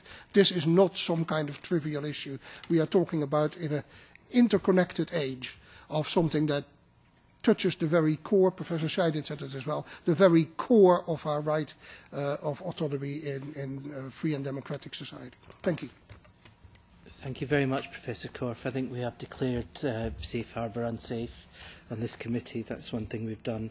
Um, your presentation is, is being uploaded, the full presentation is being uploaded on the Libe website. Um, I also should mention I've had a couple of messages from uh, some of our members who have very compelling reasons for not being here and wanted to be here and wanted me to mention to all the speakers um, uh, that they um, are very saddened that they couldn't be here and they wanted to uh, send their appreciation um, for your presentations. Um, can we now just open the floor to, first of all, to Jan Albrecht uh, for his first question? Yeah, thank you very much, and uh, thank you also for outlining uh, the cases uh, in, in detail, because I think that obviously uh, there is a clear infringement to the convention's uh, um, text or legal framework. And um, my question, therefore, would be, as you also at the beginning lined out the way how uh, this uh, can be addressed for individuals. Uh, do you see also um, a possibility for uh, member states and institutions to uh, point out infringements uh, or to go to Strasbourg court? If yes, I would be very interested in listening about that. And also, if you see that, for example, in the Council of Europe, there's also in, in some way uh, a need for political debate on the massive infringement, obviously, of the uh, framework of the Council of Europe and its treaties, um, and in which way uh, governments uh, carrying these treaties should care about uh, these laws to be enforced. So also from an international law perspective, what are the possibilities uh, for, for diplomacy on that with regard to the infringements of this convention? Do you want to answer that one first, and then I'll go. Then I'll go on next to Mrs. Okay. Yeah, that's a, that's a good um, broad issue. Uh, let me let me start just going back a little bit again with um, what Judge Zupančič said about the court in Strasbourg not being able to change to order the changes of law the way the German Constitutional Court can suspend parts of law. Um, that, that, that is a bit too easy to put it like that. Um, in many, many countries in Europe, the laws have changed because of judgments in Strasbourg and have had to be changed. And after all, there is an implementation mechanism of the um, judgments in Strasbourg through the Committee of Ministers. Slightly odd, but um, that has actually improved over the years. So if there is a finding in Strasbourg that a particular activity of a state violates the convention, then the state is obliged to take remedial action. And if the activity is squarely based on its national law, they'll have to change the law. Um, and otherwise it won't come off the agenda of the Committee of Ministers. So um, I, I do think there are possibilities there. In, within Europe, um, uh, the possibility of um, having some issues looked at in Luxembourg is perhaps more complex than the ones of actually getting things to Strasbourg. Because it, since um, in many respects there are no adequate remedies available, certainly with regard to what we've now learned about GCHQ in, in the UK. I think it is obvious that the, the, the supervisory mechanisms in the UK were inadequate because they didn't stop this obvious breach of the convention. So there is no effective remedy. Um, and therefore you can go straight to Strasbourg, and therefore Strasbourg could deal with this fairly quickly, and it could be before the Committee of Ministers fairly quickly. On top of that, the Parliamentary Assembly of the Council of Europe has called, I think it's been referred to the Legal Affairs Committee, for an Article 52 inquiry by the Secretary General, um, which could be wider and could involve other states as well. I believe it is very useful, would be very useful to have such an inquiry. I would hope that the uh, Council of Europe Commissioner for Human Rights would use his power to intervene in such a case, which he's never done. Um, and that would, I think, create an enormous amount of momentum at the Strasbourg level for trying to come up with ways of reconciling legitimate interests of the state in protecting its national security with its fundamental requirements under the convention. Something on the lines of the Schleswig-Holstein uh, law that I've pointed out. Just an example, but it is so much better to read what it says there. Clear um, uh, uh, factual evidence, targeted surveillance, good superv supervisory mechanisms, good parliamentary control. All those, all those elements are there. And I would hope that these kind of measures would do so. I also fully endorse Professor Scheinin's call for an interstate case uh, under the ICCPR. Uh, I, I think that the one thing would be to, to look for the right kind of state. One problem, if you want a bit of advice there, um, many years ago, uh, I looked at the interstate complaints against Turkey over massive um, torture and other human rights violations. And it was hugely problematic that there were something like five or seven states involved in the interstate case. Um, it might be better to have one country bringing the interstate case, with the other countries taking a bit of a backseat rather than having um, three or four or five ministries, uh, foreign ministries involved in a complex case like that. Um, so that, that would be one tip. But I would very much endorse the ICCPR route, and it, that does not stand in the way of um, uh, the interstate case in the UK as well, of course. Plus Article 52 inquiry by the Secretary General of the, of the Council of Europe, and exploring the possibilities of some Luxembourg action, but I think you know better than I do there how complex that is. Thank you very much. Mrs. Sippel. Oh, sorry, Ariane, you want to come back quickly? I, I'm sorry, I don't, don't want to take uh, the other's times, but as we are a little, little cozy around, uh, I think it should be possible. Um, just because I, I have something in my mind which is also linked to the question of international law, and as you are uh, a very well-known international law uh, expert, I would like to ask it to you. Um, in my view, um, we have to do also, we have to deal also with uh, attacks on sovereignty of states obviously there was a huge attack by British authorities on the sovereignty of Belgium.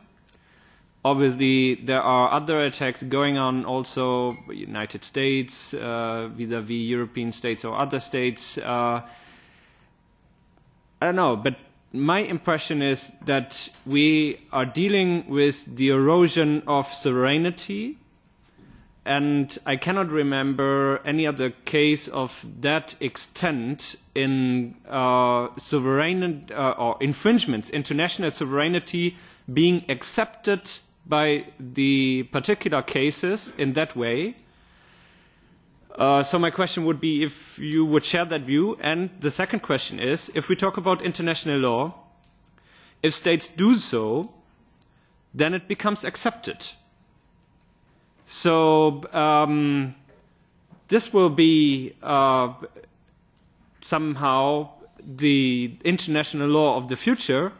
And with regard to the activity of some members, uh, some member states, uh, say, some states uh, in in our global society which are not following the basis of rule of law and democracy as uh, OECD countries or Council of Europe countries are doing, uh, what do you think, think this will uh, have an impact for the international law environment which have, we have built as democratic states for the last uh, decades. Thank you very much. Yeah. Um, but there, there, would, there might be possibilities to take a case to the International Court of Justice in The Hague, of course, on a pure sovereignty basis. Um, but of course, you, you generally need the consensus of both states concerned. One um, positive note, um, if, if enough states object to this kind of practice, then you will not create customary international law. So um, I would hope an awful lot of states make clear that they are not happy about this practice, and then you will stop the creation of a customary norm um, uh, on the basis of what some rogue states, as I almost call them, are now up to in this, in this respect.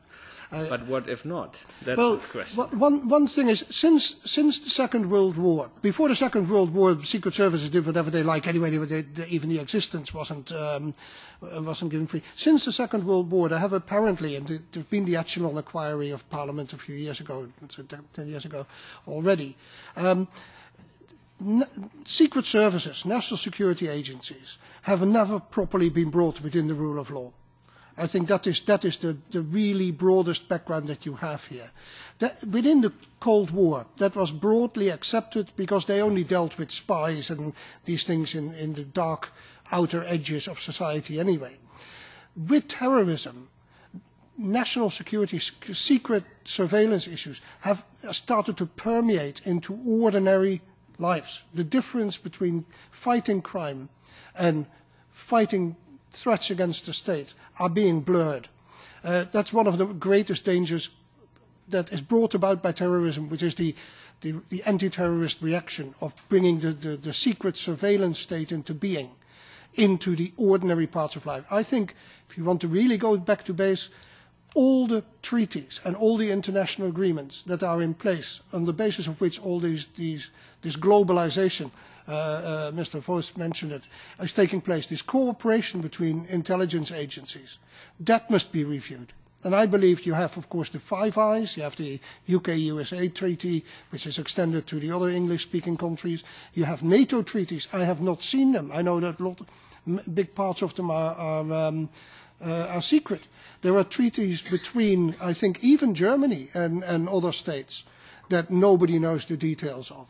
Um, I think in a state under the rule of law, there should be no such thing as secret treaties.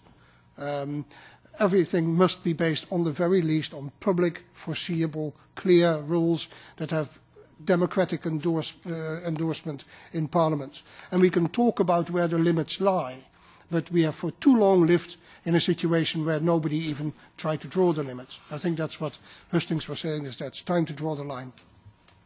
Uh, Mrs. Sippel. Ja, vielen Dank. Wir haben ja diese Debatte begonnen angesichts von massiven Datensammlungen der USA und wir haben heute gehört, dass diese Sammlungen sehr wohl gegen internationale Vereinbarungen verstoßen unsere Mitgliedstaaten sich aber nicht dagegen wehren. Und äh, Sie haben eben darauf hingewiesen, dass mindestens auf dem Papier die Situation in Europa besser ist.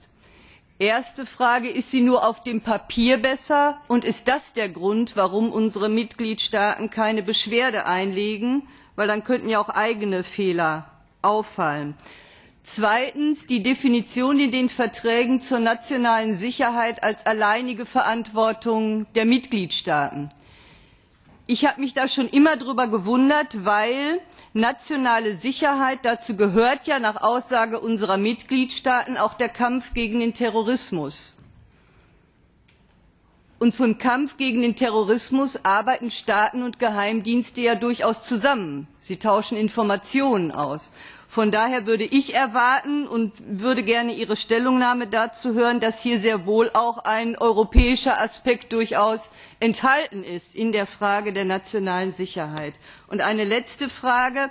Ja, es gibt in mindestens einigen Mitgliedstaaten Kontrollgremien, Mechanismen, die aber auch nicht immer gut funktionieren Frage mindestens dann, wenn ich eine europäische Zuständigkeit auch für nationale Sicherheit feststelle, habe ich dann auch die Möglichkeit, die Mitgliedstaaten da, wo Erkenntnisse vorliegen, aufzufordern, ihre Regeln der Transparenz und Verhältnismäßigkeit, was auch die Arbeit der Geheimdienste angeht, zu verbessern. Ja, auf die Professor Korff, uh, sorry, finish the translation. Yeah. Professor Korff, could I just add of a, course, yes. a, one question for me and Please. then ask you to answer the... I will. Gladly. Sorry, I'll, I'll add a question and then ask you just to do a final conclusion. Yep. Um, I just wanted to ask you, um, to depart from the question I was going to ask you, about what you said about the national security exemption, and also to pick up on what um, Jan Albrecht was saying about the Belgacom case again. One of the big difficulties we face um, in this inquiry, one of the many difficulties, is this whole issue. Um, we had this ad hoc uh, hearing on, obviously, Belgacom, one member state allegedly um, spying on another member state. Now, if in the post-war situation you don't have complete oversight of intelligence activities and you have complete denials that anything is happening, and yet in the treaties it also says that, you know, as you said, I think you said it's a wild overstatement to say that there's a national security exemption. I mean, how, how do you find your way through this? I mean, in the UK example, for example, there's an unwritten constitution, so the idea that you're ever going to have a statement of this is what, what it says constitutionally on secret services is going to be a very difficult position to, to get to. But what, you know, how do you map your way through this situation where um, you have allegations from one member state to another within the EU context, um, and then, you know, you're left with a situation where uh, serious allegations are made, but um, you can hide within um, the context of the national, first of all, the national security exemption, and then you can hide, um, of course, with just general, it's a general allegation. Um, and yet both are EU member states. I mean, it's a very difficult one for EU citizens to understand. It's a difficult one for us within an EU inquiry to understand. And you say it's a wild overstatement because we're also dealing with Europol and so many internal security um, ad hoc situations. So it's an interesting point. I will try and deal with all the questions. Ich werde erstmal versuchen, Ihre äh, Fragen zu beantworten.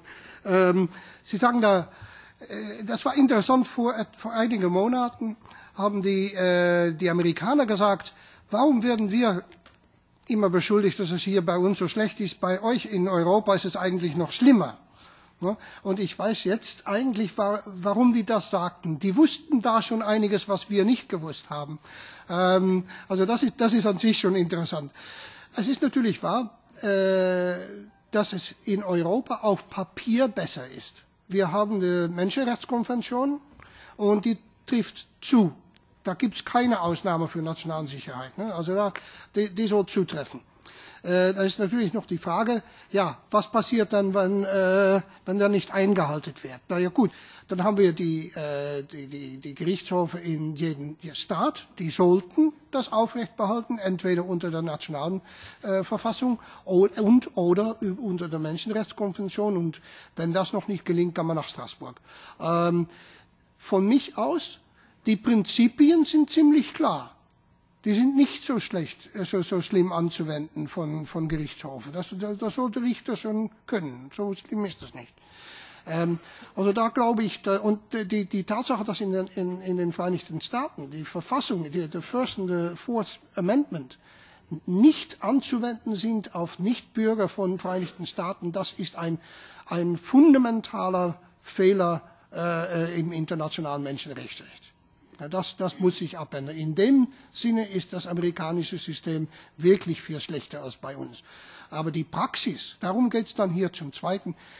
Jetzt haben wir die Möglichkeit, wo wir wissen, was alles passiert ist, jetzt haben wir die Möglichkeit, um erst auch mal die, die Tatsachen rauszukriegen Da hat natürlich der Vorsitzende hier auch äh, eine Frage, wie bekriegt man die? Naja, Sie haben schon ziemlich viel gehört. Äh, Duncan Campbell hat schon ziemlich viel gesagt ähm, und das schon, schon ziemlich viel ist äh, unterzwischen bekannt geworden. Terrorismus, ja, eben. Äh, da gibt es eben in, in, in Sache Terrorismus gibt es EU-Kompetenz, zweifellos. Dann kann man nicht sagen, wir haben hier National Security äh, Sache und da muss die EU rausbleiben. Das ist gerade, was ich sagte. Und ich glaube, da muss es die Möglichkeit geben, dass man das Gerichtshof in Luxemburg auch fragt, ähm, wie weit kann ein Staat gehen in seinen Maßnahmen äh, gegen nationale Sicherheit, die zugleich auch mit Terrorismus zu tun haben, vor dem die, e, der EU äh, äh, Kompetenzen hat. Also das muss geklärt werden. Endgültig kann das nur vom Gerichtshof in Luxemburg erklärt werden. Und drittens, das war eigentlich das Gleiche über die EU-Kompetenz. Ich glaube, der EU hat Kompetenzen und die Abgrenzung der verschiedenen Kompetenzen ist nun einmal ganz genau eine juristische Frage. Dafür hat man das Gerichtshof nun einmal. And now, back to um, the, the chairman's question. Um, how to deal with the question that you have uh, these claims for a national security exemption by one state, one EU member state, that affects the fundamental rights of citizens in another EU member state. I think that is the, the, the hot political issue that this committee is, uh, is, is facing. Uh, and I don't think you can duck that issue. We will have to come up with both a political and a legal answer to, um, to dealing with this. In, in, in a situation where terrorism does threaten many issues in modern society, in which it is felt that the EU has to work together to try and protect uh, to, to citizens against terrorism and at the same time the fundamental rights of citizens from excessive anti-terrorist measures. In such a situation, the national security exemption must be minimized. It can only be minimal. Of course, states must have a certain amount of sovereignty. I wouldn't want the EU to dictate operational details. But setting out the basic principles is not too difficult. I keep on repeating it.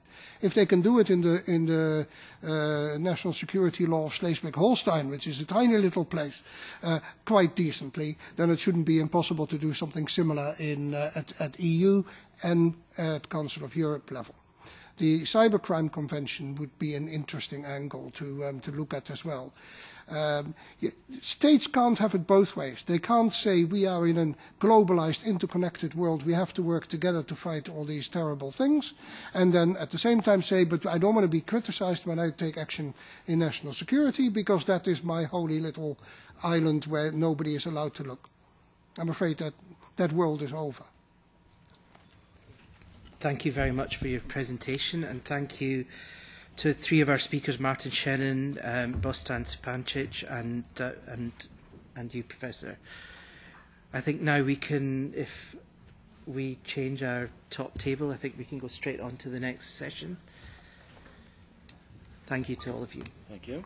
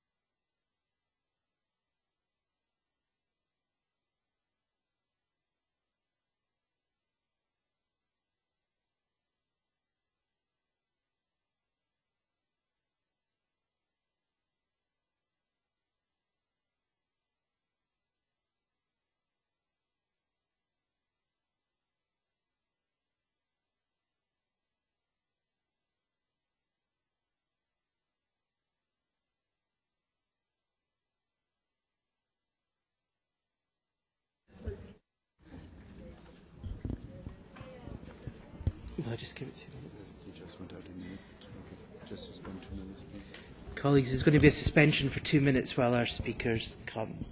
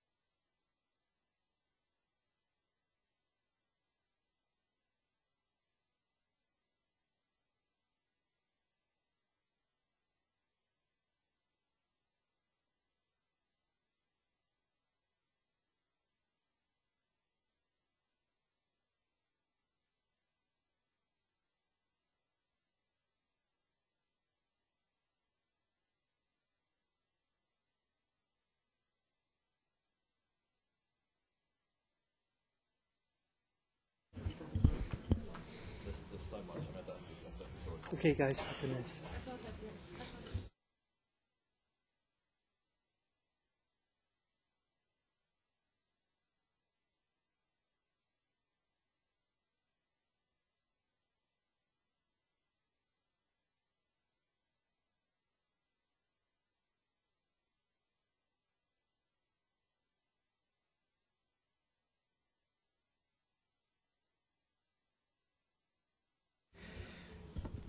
Colleagues, we're going to move to our second session. Uh, as I said at the beginning, uh, we're going to focus now on the pending court cases uh, which have been brought in various courts since the allegations about surveillance programmes were made. Uh, we've got two um, particular court cases which are going to be presented today, um, and I propose that we hear first from our three speakers and then we move to the normal question and answer session.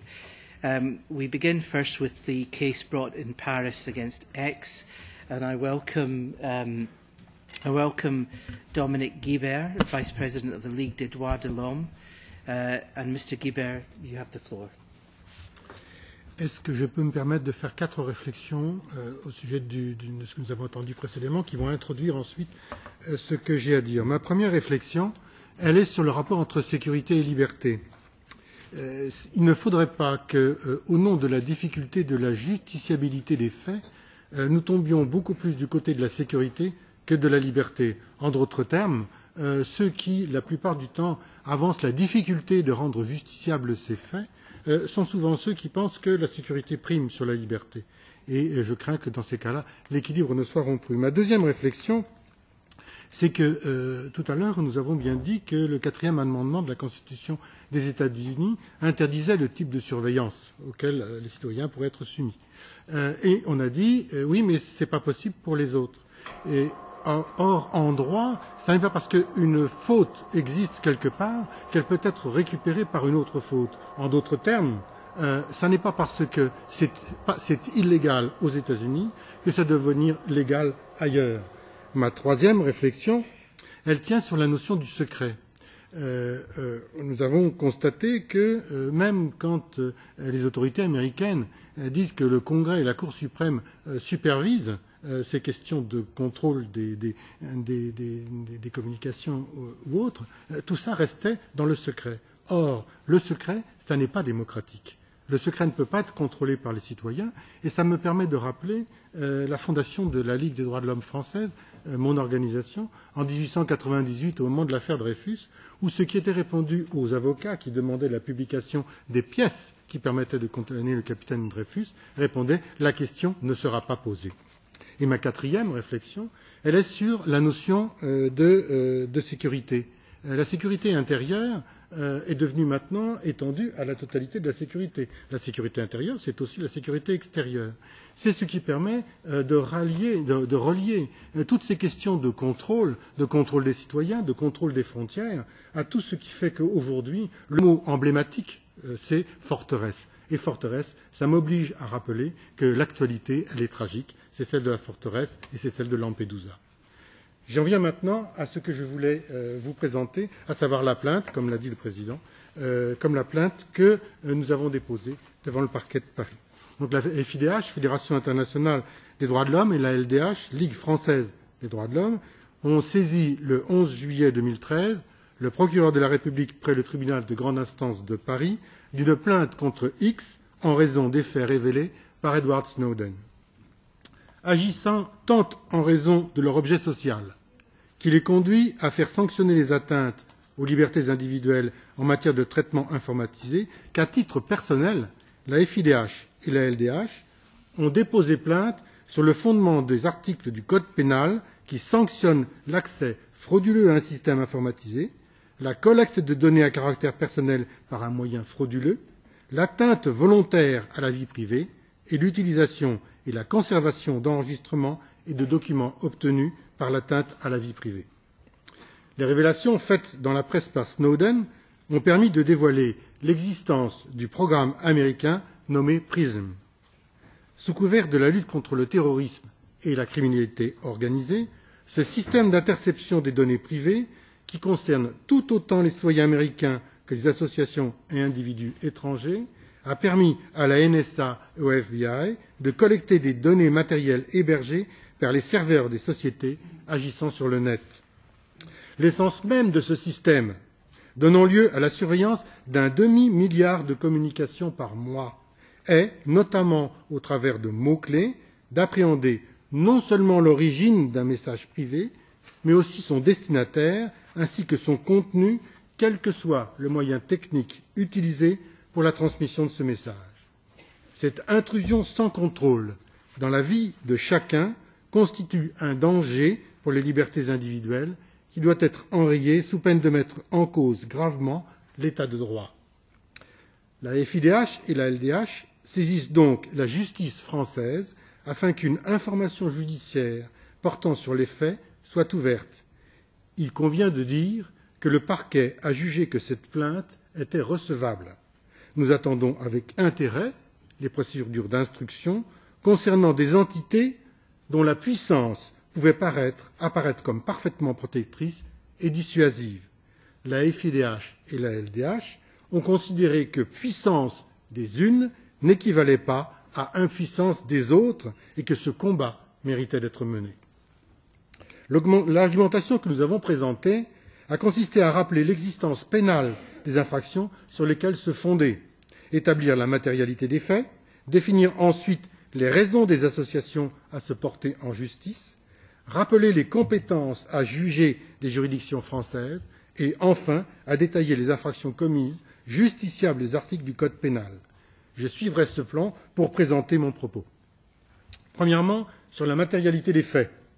Les documents recueillis ont été classés secret défense et révèlent que la NSA et le FBI disposent d'un accès direct aux serveurs de neuf sociétés américaines exerçant dans le domaine de l'Internet, soit Microsoft depuis deux mille sept, Yahoo depuis deux mille huit, Google, Paltalk et Facebook depuis deux mille neuf, YouTube et Skype depuis deux mille dix, AOL depuis deux mille onze et enfin Apple depuis deux mille douze.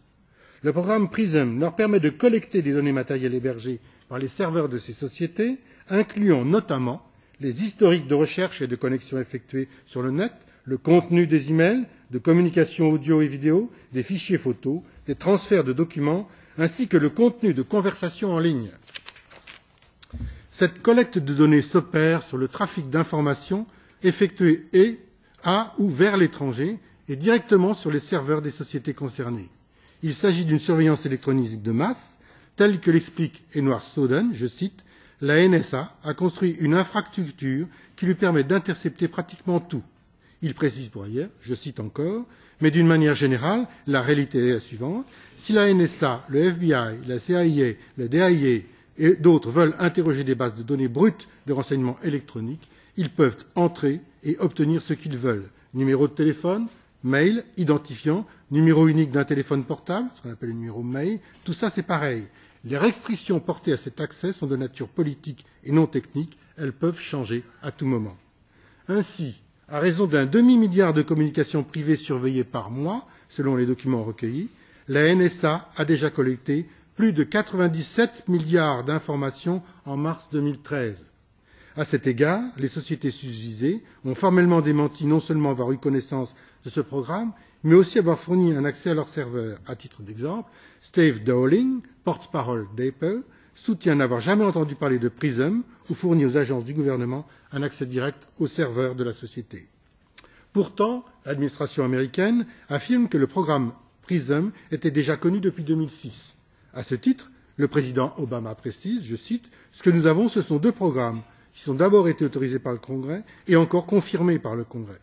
De plus, les experts estiment que les sociétés concernées ne pouvaient ignorer la collecte des données matérielles hébergées sur leurs serveurs et auraient même été tenues de mettre en place les moyens techniques nécessaires pour permettre cette collecte.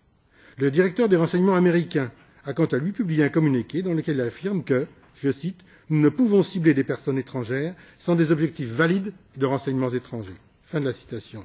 Et ajoute que le programme PRISM est supervisé par un tribunal composé de onze juges désignés par le président de la Cour suprême des États-Unis.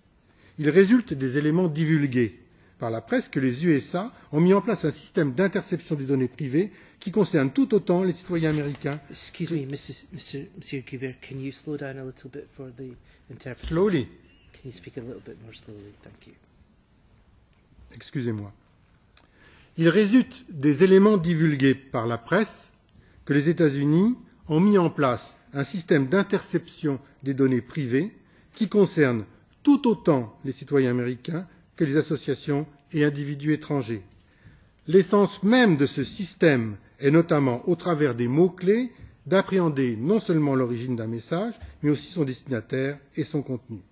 Ces faits conduisent à penser que sous couvert de lutte contre le terrorisme et la criminalité organisée, le gouvernement s'affranchit des règles de, la territorialité pour créer un système de contrôle mondial hors de toute garantie légale et à leur seul profit. C'est dans ces circonstances que les associations que nous sommes se sont jugées contraintes de porter plainte auprès du procureur de la République près du tribunal de grande instance de Paris afin qu'il soit informé des faits subventionnés, susceptibles de recevoir une qualification pénale et pour qu'une information judiciaire, ou tout le moins une enquête préliminaire soit diligentée, afin de caractériser les infractions dénoncées. Deuxièmement, sur la recevabilité des plaintes et la constitution de partie civile. L'article 2, alinéa 1er du Code de procédure pénale dispose, je cite, L'action civile en réparation du dommage causé par un crime, un délit ou une contravention appartient à tous ceux qui ont personnellement souffert du dommage directement causé par l'infraction. En application de ce texte, et au visa notamment des articles 6 de la Convention européenne des droits de l'homme et 3 et 85 du Code de procédure pénale, la Cour de cassation, dans son arrêt du 9 novembre 2010, a dégagé le principe général selon lequel, je cite, pour qu'une constitution de partie civile soit recevable devant la juridiction d'instruction, il suffit que les circonstances sur lesquelles elle s'appuie permettent au juge d'admettre comme possible l'existence du préjudice allégué et la relation directe de celui-ci avec une infraction à la loi pénale.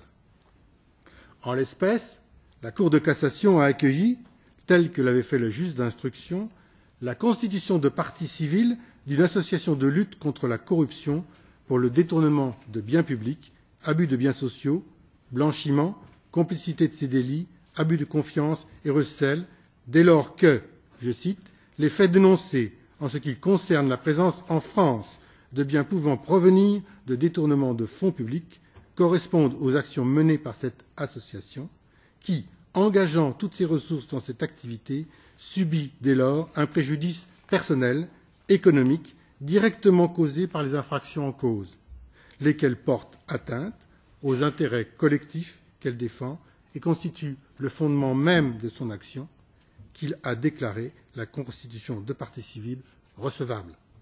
La Chambre criminelle rappelle ainsi que les associations sont soumises au régime juridique de droit commun de la constitution de partie civile sans considération a priori de l'objet de l'association ni de la nature des poursuites. Les faits visés par la présente plainte portent sur plusieurs infractions en matière d'accès et de maintien dans un système de traitement automatisé de données et de protection des données personnelles détenues par certaines sociétés américaines. Dès lors, la, FIDH et la LDH, particulièrement attentives et actives dans le domaine du respect de la vie privée et de la lutte contre les abus informatiques, subissent un préjudice personnel et direct causé par les infractions en cause, lesquelles portent atteinte aux intérêts collectifs qu'elles défendent et constituent le fondement de leur action. De plus, Monsieur Goubert, if you could make uh, some conclusions now, and then we'll ask you some questions.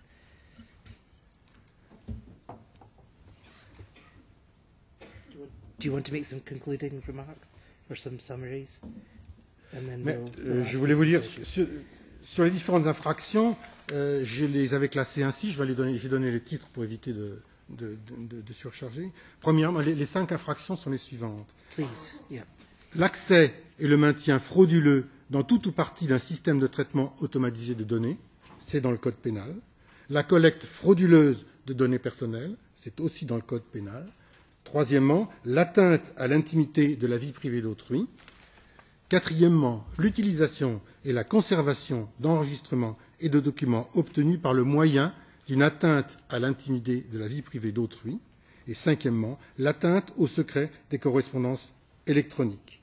En conclusion, euh, ce sont bien la NSA et le FBI qui sont les principaux responsables, avec la complicité des sociétés qui ont proposé leurs moyens techniques permettant aux agences américaines d'accéder au contenu des correspondances des internautes.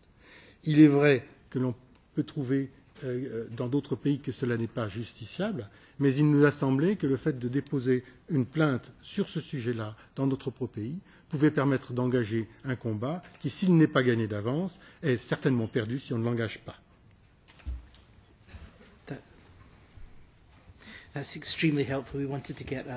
A sense of the case, and that's, that's been very helpful. Um, Mr. Albrecht, do you have a, a question? I, I mean, uh, thank you first of all for uh, giving this overview on this procedure and and your uh, view on the individual uh, redress. Um, I just would like to know from from you what you would like to see or what you would expect from parliamentarians in member states' parliaments and in the European Parliament and on respective governments to happen besides individual redress and individual cases. Thank you. And maybe if, if I could just add to that as well, just um, the, my other colleagues are going to speak on the Article 8 case, and obviously NGOs have been involved and individuals. So before they come in, uh, in respect of the situation in France, um, how much support are you getting in the wider NGO and voluntary community, just to add to Mr Albrecht's question, and how do you feel you're being supported in the wider civil uh, society, and has there been much media attention? What is your view?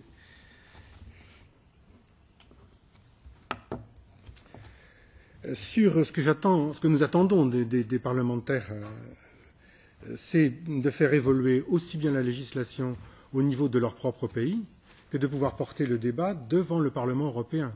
Euh, dire que euh, toutes ces procédures sont sans contrôle et euh, se retrouver dans une situation où on nous dit mais ça, ne devient pas, grave puisque tous les pays vont faire la même chose et quelque chose qui ne peut pas nous convenir. Vous l'avez d'ailleurs dit tout à l'heure, Monsieur Albrecht, euh, ça ne peut pas être euh, une façon de considérer les choses comme correctes, euh, de dire que euh, eh bien, ça va se passer partout et tout le monde aura raison puisque tout le monde le pratiquera. Donc nous attendons des parlementaires euh, nationaux au Parlement européen euh, que non seulement ils fassent tout pour faire euh, progresser la législation de contrôle là-dessus, mais aussi euh, soutiennent l'introduction éventuellement dans la Convention euh, européenne euh, ou la Charte européenne des, droits de l'homme euh, les procédures réglementaires euh, qui nous permettraient d'avancer. Certes, euh, la directive 108 est en train d'évoluer, vous êtes en train de, sans doute essayer d'en modifier les aspects. Euh, il faudra sans doute faire qu'il puisse y avoir justiciabilité par des individus de ce genre de procédure qui pour l'instant n'existe pas. Euh, pour ce qui est des gouvernements, euh, nos propres gouvernements, euh, nous attendons du gouvernement français, puisque c'est devant lui, devant sa juridiction, qui est déposée la plainte, c'est qu'il, ne fasse pas obstacle à son développement, et deuxièmement, euh, qu'il puisse, sur la base d'un rendu du, juge d'instruction et éventuellement d'un passage en procès, qu'il puisse, sur, ces rapports de force, euh, peser sur la totalité euh, du champ européen. Mais ça me permet aussi de rajouter euh, que peut-être faudrait-il, euh, il a été souligné tout à l'heure, euh, qu'il fallait évoluer, faire évoluer les procédures sur le.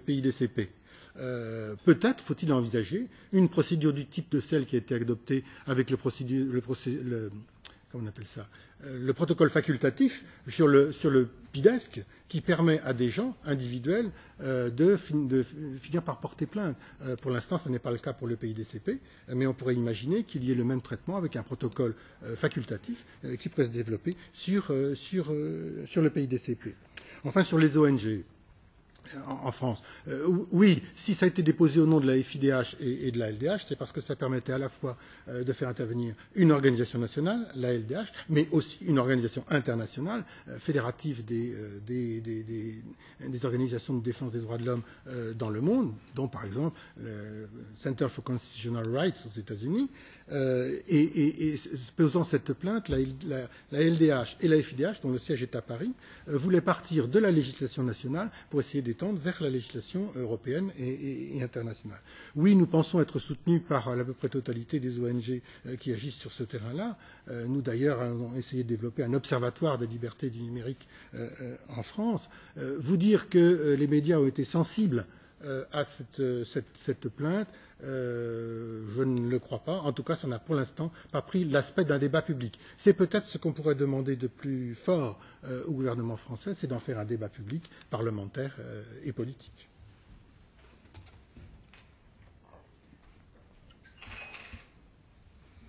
Thank you very much. I don't know if Mrs. Sippel has a question. I'm not sure if it's a question at the beginning of your wording, you made a very sharp link to Lampedusa. And I think what you wanted to point out is that uh, with all the technical possibilities, with all the surveillance mechanisms, everyone can be surveyed, all the data are collected, and to some extent, everyone is a suspect.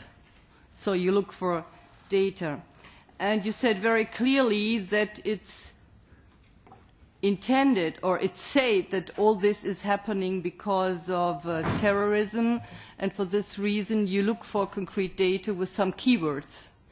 But as you were very clear in your wording, I would like to ask you, from your personal point of view, are we sure, can we be sure, that um, the correct keywords are used? We have a wording in Germany and I think in many other countries, it's like looking for the needle in the haystack. So do we know that we are looking for a needle and for which needle?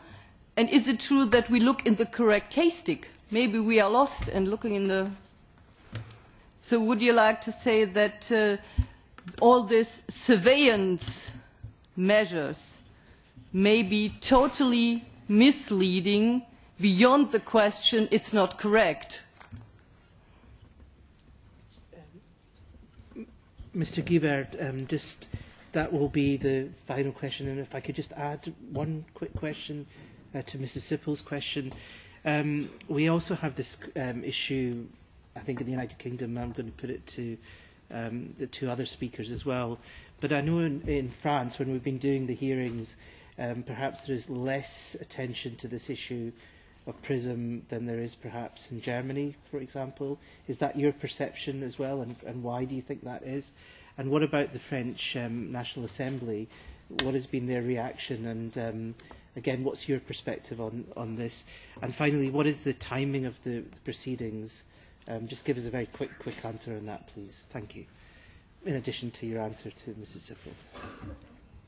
Je vais, essayer sur, sur la question de Sippel. Euh, bien sûr, je pense que c'est orienté vers la sécurité d'un certain point de vue.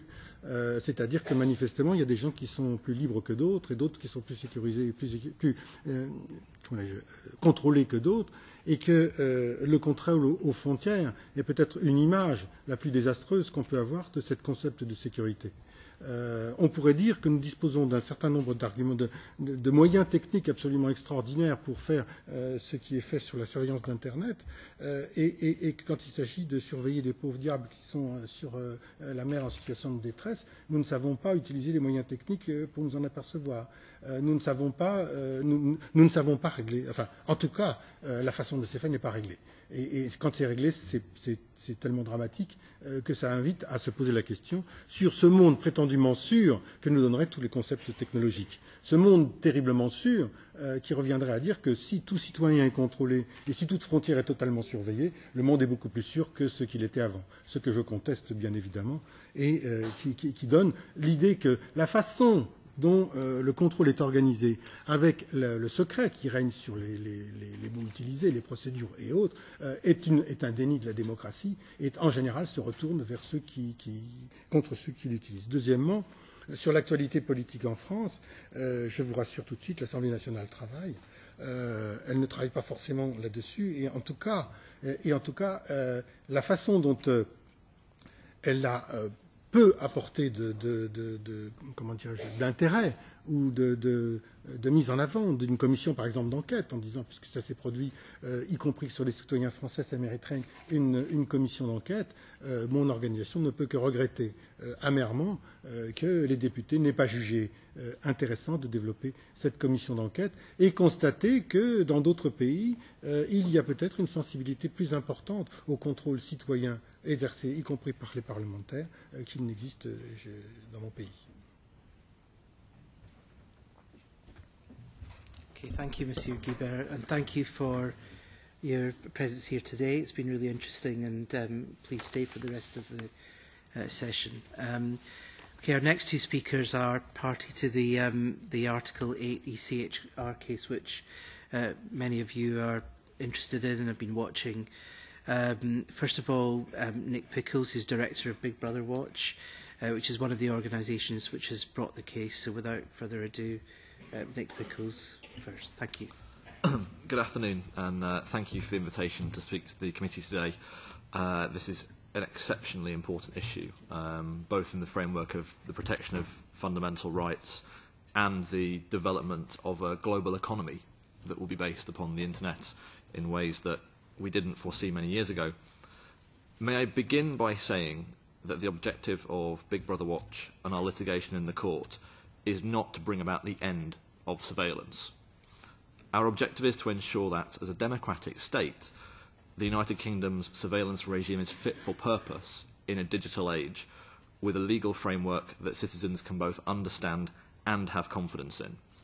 As I will go on to address, I think at present citizens can neither understand nor have confidence in that legal framework. What Edward Snowden has done is illustrate two key things. Firstly, that the scale and the nature of surveillance is far beyond what national parliaments have legislated for, what legislators have understood as the intent, and that the second part of the operation of surveillance, the safeguards, is that where surveillance powers have been granted, they've been exploited with regard to the internet far beyond the intention of legislators and to a degree that few would recognise as feature of a civil society and oversight mechanisms have proved woefully ill-equipped to perform their tasks. Briefly, in the past week, there have been remarks from the director of the British intelligence services um, about the, the value to our enemies. And I would like to just briefly highlight the quotes from uh, Nigel Inkster, a former deputy chief of MI6, who told The Guardian, I sense that those most interested in the activities of the NSA and GCHQ have not been told very much that they didn't already know have could not, or could not have inferred. Edward Snowden has performed a great public service, I hope initiated a debate that will not remain confined to these hearings. Indeed, perhaps the starkest demonstration of how the scale of surveillance has exceeded the intent of legislators is the current um, efforts of Representative Jim Sensenbrenner, the Republican and co-author of the Patriot Act, who is attempting to significantly reduce the scope of that legislation, having now learned that the law he helped draft has been implied in a very different way and far beyond what he or Congress intended. The response of the US government, from the President down, to reform the law enhance oversight and improve transparency demonstrates the very real public interest in these disclosures. It also highlights how the legal and oversight frameworks are not fit for purpose. It is a great shame that the same debate is not taking place in Britain, and I'm sure we will come up with that in questions.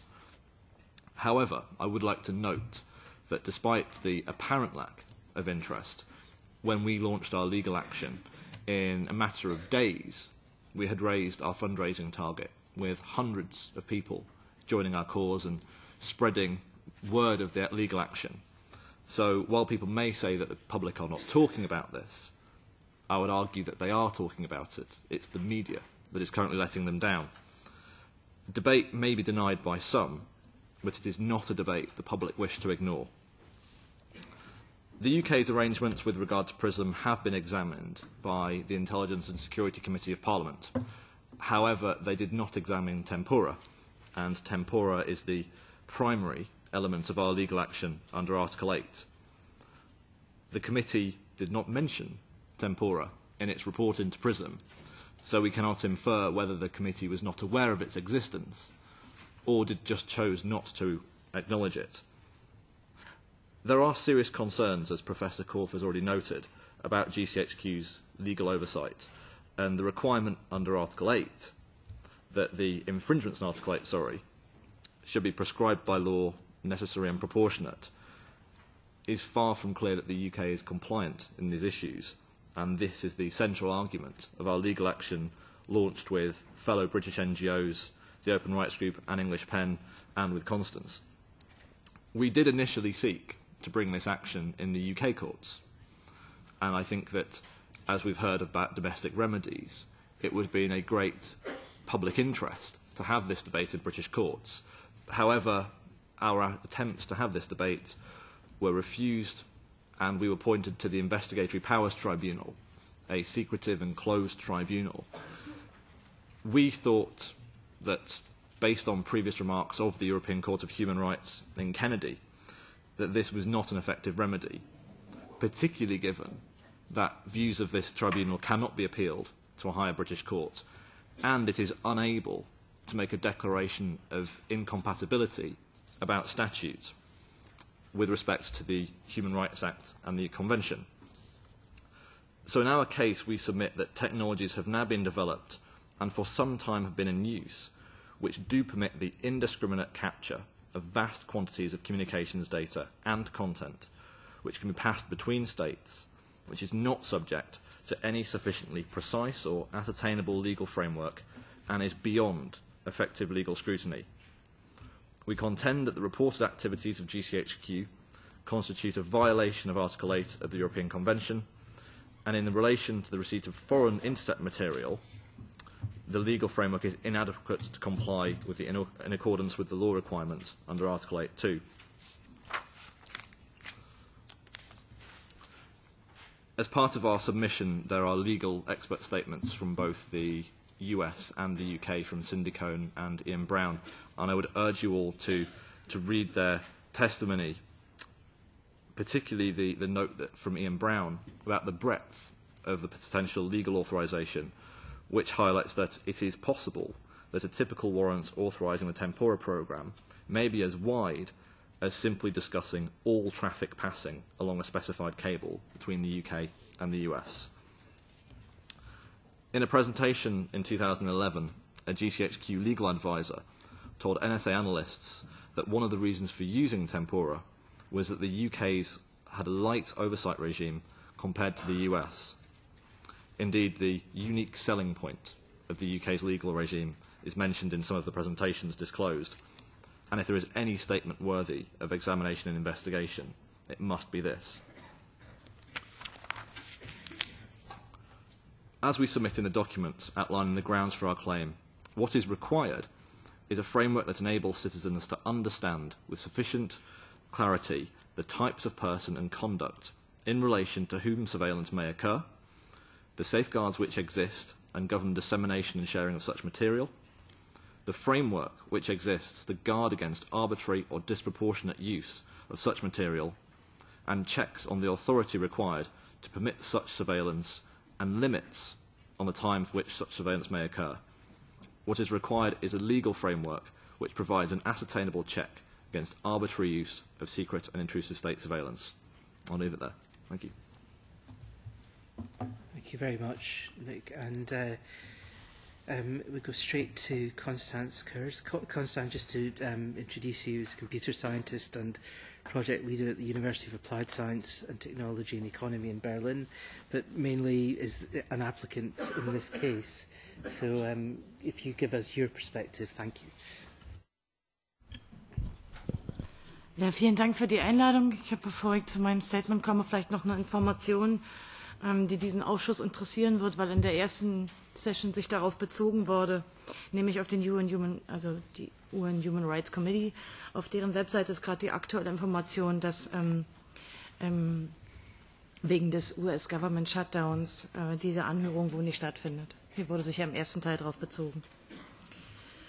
Ich möchte die Gelegenheit nutzen, über das hinaus, was Nick Pickett gesagt hat, Stellung zu beziehen zu den bekannt gewordenen Praktiken der Geheimdienste, insbesondere zum GCHQ, weil aus meiner Sicht auch als Beschwerdeführerin in dem Fall natürlich wegen der Europäischen Menschenrechtskonvention andere Voraussetzungen herrschen als etwa bei den amerikanischen Geheimdiensten. Denn wir haben in den vergangenen Monaten gelernt, dass die technischen Möglichkeiten, alle digitalen Transaktionen und den gesamten Netzverkehr von Kontinenten abzuhören, nicht nur technisch vorhanden sind, sondern dass sie auch genutzt werden, und zwar hier mitten in Europa und nicht nur in Diktaturen. Ähm, Nick Bickett sprach ja schon kurz über das sich eben das sich eben vor allen Dingen an den überwachten Glasfaserleitungen ähm, gütlich tut und wo ja der gesamte Netzverkehr über mehrere Tage gespeichert wird, um ihn zu analysieren und zu filtern. Äh, diesen Fall bringen wir also jetzt oder versuchen wir nach Straßburg zu bringen zu den Fragen der Betroffenheit die vorher schon angesprochen wurden. So habe ich aus meiner Sicht keine Zweifel, dass ich zu den Betroffenen gehöre. Ich bin ein normaler, sozusagen digitaler Bürger, ungefähr 18 Stunden am Tag online und ich weiß, dass ungefähr 85 Prozent meiner Kommunikation über genau diese Glasfaserleitungen gehen, also in die Bulk Mass Surveillance unmittelbar einfließen. Äh, neben dem, was Nick Pickett schon sagte zu dem Fall, ist mein primärer Antrieb, äh, nach Straßburg zu ziehen, auch überhaupt an Fakten und Informationen zu kommen In Fällen, die wir vor dem deutschen Bundesverfassungsgericht verhandelt haben, kam es immer wieder dazu, wenn die Geheimdienste dort Stellung nehmen mussten, dass auch Informationen über das hinaus, was aus den Snowden-Unterlagen jetzt bekannt ist, veröffentlicht werden müssen. Und meine Hoffnung ist natürlich, dass das Verfahren, wenn es zu einem kommt, in Straßburg auch Informationen herausbringt, denn nicht nur sicherlich nicht nur die deutsche Regierung, auch die anderen Regierungen in Europa haben sich nicht gerade dadurch hervorgetan, zu den Veröffentlichungen von Snowden Informationen hinzuzufügen, die ein Mehr an Aufklärung bringen würden. Das heißt, neben der Frage, ob im Einzelnen nach britischem Recht die Maßnahmen der Überwachung irgendwie notwendig, verhältnismäßig oder auch nur viel zielführend sind, geht es mir vor allen Dingen um die Frage, ob diese Regelung in Großbritannien, den GCHQ betreffend, also nationale britische Recht, das Kommunikationsgeheimnis des Großteils der Europäer betrifft und damit also untergräbt letztlich und damit auch internationales Recht bricht. Denn wie wir wissen, der britische Geheimdienst muss für das Belauschen ausländischer Kommunikation, also etwa meiner und ihrer, also von europäischen Bürgern und Unternehmen, eben gerade keinerlei Zielpersonen benennen oder auch sonst keine Sachgründe vorlegen. Sie sind also im Prinzip überwachungsvogelfrei als Ausländer. Und wenn jetzt die Mitglieder der britischen und der US-amerikanischen Regierung ankündigen, wenigstens mal darüber nachdenken zu wollen, die parlamentarische Kontrolle in ihren Ländern zu verbessern, dann ist natürlich hier nur an die Inländer gedacht und eben nicht an Personen wie mich, die Ausländer sind und von diesen Gesetzen betroffen.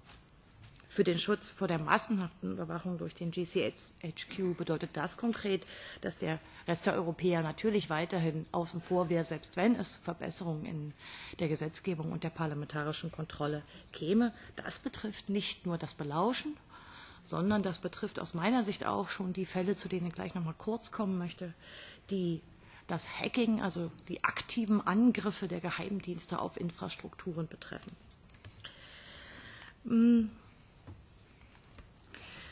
Wir wissen also nach den veröffentlichten Snowden-Unterlagen, die im Übrigen ja auch nicht dementiert sind, dass der europäische Internetverkehr durch den GCHQ fast vollständig erfasst und analysiert wird. Insbesondere betrifft das die Überseekabel und mindestens zwei Dutzend weitere Glasfaserleitungen, darunter auch innereuropäische. Ich will bei dieser Gelegenheit darauf hinweisen, dass es also nicht nur wie vorher diskutiert um das Speichern der Daten geht, was legalistisch zu betrachten wäre, sondern natürlich auch um die Tatsache, dass man, um an diese Daten zu kommen, die zu speichern und zu analysieren, zunächst mal diese Leitungen anzapfen muss. Es stellen sich natürlich auch Fragen an die Betreiberfirmenkonsortien dieser Leitungen, die das Abhören nicht dementieren, aber auch keine Auskünfte dazu geben, obwohl nicht nur britische Betreiber dieser Glasfaserleitung betroffen sind, sondern auch ausländische Unternehmen wie etwa Verizon, Interroute oder die Deutsche Telekom, die aber dennoch auf die Verschwiegenheitsverpflichtung nach britischem Recht verweisen und anders als etwa einige amerikanische Unternehmen nicht ihrerseits rechtliche Schritte ähm, gegen diese Verpflichtung vornehmen. Wir haben heute viel über die Überwachung gesprochen. Ich möchte aber gerne neben diesen Fragen, die die Eingriffe in die Privatsphäre von Menschen betreffen, auch darüber sprechen, wie wir mit den offensiven Angriffen auf kritische Infrastrukturen von Nachbarländern umgehen. Der, der Fall des geheimdienstlichen Hackings von Belgacom ist hier schon angesprochen worden. Wir reden hier also nicht davon, dass es primär darum geht, dort Daten zu erlangen. Das ist zwar das Ziel, aber was eigentlich getan wurde, ist nicht Spionage, sondern ein aktiver Angriff, bei dem eine große Zahl der Rechner von Belgacom kompromittiert wurden. Und zwar so weit kompromittiert wurden, dass die Rechte des ausländischen Dienstes ähm, hier so weit reichten, dass im Prinzip alle Administrator Funktionen auf diesen Rechnern benutzt werden konnten. Das ist also ganz klar ein Angriff auf die nationale Souveränität eines, eines befreundeten EU-Landes. Die Computer dieses belgischen Unternehmens, Belgacon, das teilweise in Staatsbesitz ist, wurde also heimlich mit professioneller Schadsoftware infiltriert, um an sämtliche Passwörter und auch an die kryptografischen Schlüssel zu kommen und diese abzugreifen. Die Informationen dazu wenn Sie sie nachlesen möchten, finden sich in der Presse, vor allen Dingen in der belgischen. Da habe ich in der Stellungnahme kurz verlinkt. Ich will nur darauf hinweisen, Kunden von Belgacom sind unter anderem Sie als EU-Parlament und die Europäische Kommission, aber auch zum Beispiel die Betreiber von SWIFT oder die NATO. Wir haben hier also ähm, ja, nicht nur die nationale Souveränität betroffen, die durch diese Hacking-Angriffe ähm, in Frage gestellt wurde, sondern eben auch internationale Organisationen. Dazu würde man auch noch das bisher noch nicht erwähnte Edge Hill-Programm, das GCHQ, erwähnen müssen. Das ist sozusagen das britische Pendant von Bullrun, dem NSA-System. Mit Edge Hill führt der britische Geheimdienst ein systematisches Untergraben und Umgehen von Verschlüsselungsmaßnahmen durch bis heute. Daran ändert sich ja auch nichts. Wir debattieren zwar über die Überwachung und das Hacking, aber es, die Programme werden ja weitergeführt und man kann dieses Edgehill-Programm ohne Zweifel als ein ganz großes Antisicherheitsprogramm begreifen und äh, durch, auch als eine generelle Unterminierung des Vertrauens in die alltägliche Kommunikation über die Netze, die dadurch nachhaltig kompromittiert wird. Hier hat man die typischen geheimdienstlichen Methoden gesehen. Man hat also versucht, Hintertüren in Verschlüsselungsalgorithmen einzubauen. Man hat V-Männer eingeschleust, was halt so Geheimdienste machen. Und man zielt insbesondere auf die Service-Provider wie Hotmail, Yahoo, Google, Facebook. Ich will vielleicht zum Schluss kommen. Sie können weitere Bemerkungen von mir natürlich gerne ähm, in der Stellungnahme nachlesen. Ich bin natürlich der Auffassung, dass wir mit dem nun vorhandenen detaillierten Wissen von den kaum durch irgendwelche Kontrollen behinderten Geheimdiensten, dass wir uns damit nicht abfinden dürfen. Und selbstverständlich einer der Gründe, warum meine Mitstreiter und ich diese Beschwerde vor dem Europäischen Gerichtshof vorgelegt haben. Ähm, dennoch müssen wir aus meiner Sicht politische Antworten finden, die darauf hinauslaufen, dass zumindest die europäischen Regierungen dem Fernmeldegeheimnis und dem Recht auf eine digitale Privatsphäre einen deutlich höheren Stellenwert einräumen und so etwas wie digitale Nichtangriffspakte untereinander geschlossen werden, sodass die Integrität der technischen Infrastrukturen gegenseitig nicht kompromittiert wird. Vielleicht als letzte Bemerkung zu Ihrem zu dieser Heuhaufen-Analogie, die wir jetzt häufig hören. Ich darf daran erinnern, dass ähm, sowohl der jetzige wie auch der äh, vergangene ähm, Chef der NSA immer wieder darauf hingewiesen hat, dass es gerade nicht um die Nadel im Heuhaufen geht, sondern dass es darum geht, den gesamten Heuhaufen aufzuzeichnen. Und ich denke, gegen diese Ideologie müssen wir uns wehren und wir werden es vor Gericht mal versuchen. Okay, thank you very much, Constance. We'll go straight to questions from my colleagues, beginning with um, Axel Voss. Vielen Dank. Entschuldigung. Vielen Dank, Herr Pickels. Vielen Dank, Frau Kurz, für die Erläuterungen. Ich habe in dem Zusammenhang ein, ein, zwei Fragen. Und zwar, also zunächst, warum wir uns eigentlich hauptsächlich immer mit der amerikanischen Seite und weniger mit der britischen Seite ähm, befassen, liegt wohl mehr daran, dass Herr Snowden nun mal bei der NSA gearbeitet hat und dort die Dokumente auch offenlegt, während wir das auf der britischen Seite immer nur sozusagen als Folgewirkung dort haben. Aber ich wollte Sie an sich fragen, wo sehen Sie oder wo legen Sie eigentlich die Grenzen oder wo würden Sie sie hinlegen zwischen der Privatsphäre und der allgemeinen Sicherheit, auch was das Internet betrifft. Ich habe mittlerweile das Gefühl, durch diese technologischen digitalen Dinge kann man eigentlich das Internet ja gar nicht mehr unbedingt als privates Medium irgendwie sehen, sondern da muss man ja mehr den öffentlichen Raum sehen und ähm, wo würden Sie da vielleicht solche Grenzen ziehen? Und das andere wäre die Frage, wo würden Sie die Grenzen legen, wann Staaten zur Strafverfolgung oder auch zur Gefahrenabwehr auf Datensammlungen privater zu, zugreifen kann oder darf. I think, Constance, that was addressed to you. So do you want to just reply to that? Sure. Vielleicht zu der ersten Frage der allgemeinen Sicherheit im Internet. Ich denke, man muss sich klar machen, dass wir in Bezug auf Sicherheitslücken, auf die strukturelle Unterminierung von Sicherheitsmethoden, die ja vor allen Dingen für uns alle im alltäglichen Kommunizieren und natürlich auch in der Wirtschaft Verschlüsselungsverfahren sind, dass wir hier davon reden, dass die Geheimdienste der Amerikaner und der Briten diese Sicherheit strukturell unterminieren. Denn zumindest einige der gängigen Verschlüsselungsverfahren sind durch Hintertüren oder durch die strukturelle Schwächung der Standards dieser Verschlüsselungsverfahren ähm, im Prinzip nicht mehr als sicher zu betrachten. Das heißt, wir reden hier eigentlich davon, dass die ähm, Kommunikation der Bürger, aber auch die Kommunikation natürlich äh, zwischen Behörden oder Unternehmen äh, strukturell unterminiert worden ist und hält auch weiterhin an. Ähm, Aus meiner Sicht ist da aber auch noch ein anderer Bereich, den man erwähnen sollte. Sie wissen sicher, mit Sicherheitslücken gegen gängige Betriebssysteme und gängige Browser, die häufig die Angriffswege sind, um Computersysteme anzugreifen. In diesem Bereich existiert schon lange ein grauer Markt und ein schwarzer Markt. Das heißt, diese Sicherheitslücken werden gekauft und verkauft. Und Teil der Snowden-Enthüllung ist auch, dass im Wesentlichen dieser Schwarzmarkt von den staatlichen Behörden bedient wird. Das heißt, die Geheimdienste kaufen diese Sicherheitslücken und lassen diesen Markt an Exploits, wie diese Sicherheitslücken häufig genannt werden, ähm, überhaupt erst am Leben.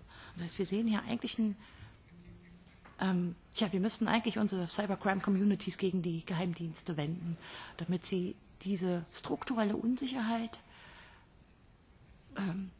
ja, strafrechtlich verfolgen. Zu Ihrer zweiten Frage. Selbstverständlich bin ich der Ansicht, dass digitale Daten zur Strafverfolgung genutzt werden dürfen. Dafür gibt es auch in allen Ländern in Europa Gesetze. Das betrifft auch die Daten etwa von Privatunternehmen, auf die sehr wohl zugegriffen werden darf. Wogegen ich mich, wie sehr viele meiner Vorredner wende, ist selbstverständlich die anlasslose, das anlasslose Festhalten von, von Daten aus präventiven Gründen. Do you have a, we can, uh, Jan, do you have a question? Ja, vielen Dank ähm, fürs Hiersein und ähm, auch für die Ausführungen und für ähm, die Antworten jetzt. Ich würde eigentlich ganz gerne eine Frage nur stellen und zwar Wenn man sich diese Überwachungsprogramme ansieht, ähm, Tempora, Prism und so weiter, äh, wie sie auch alle heißen, unterschiedliche Richtungen, unterschiedliche Technik, aber ähm, mir, mir stellt sich die Frage, wie wahrscheinlich vielen Menschen da draußen, was genau passiert da und was ist damit vergleichbar, wenn man es auf die analoge Welt sozusagen überträgt. Das ist jetzt äh, eine große Frage, aber ich glaube, ähm, dass sie in dieser Runde bisher vielleicht noch nicht so beantwortet wurde. Und ich würde mir wünschen, da ein Stück weit äh, einen Einblick zu bekommen, weil das ja auch die Frage ist, wie betrifft das den Einzelnen, der hier ja auch äh, quasi individuell betroffen sein könnte oder ist ähm, in seinen Grundrechten und welche Auswirkungen hat das äh, auf äh, die Demokratie?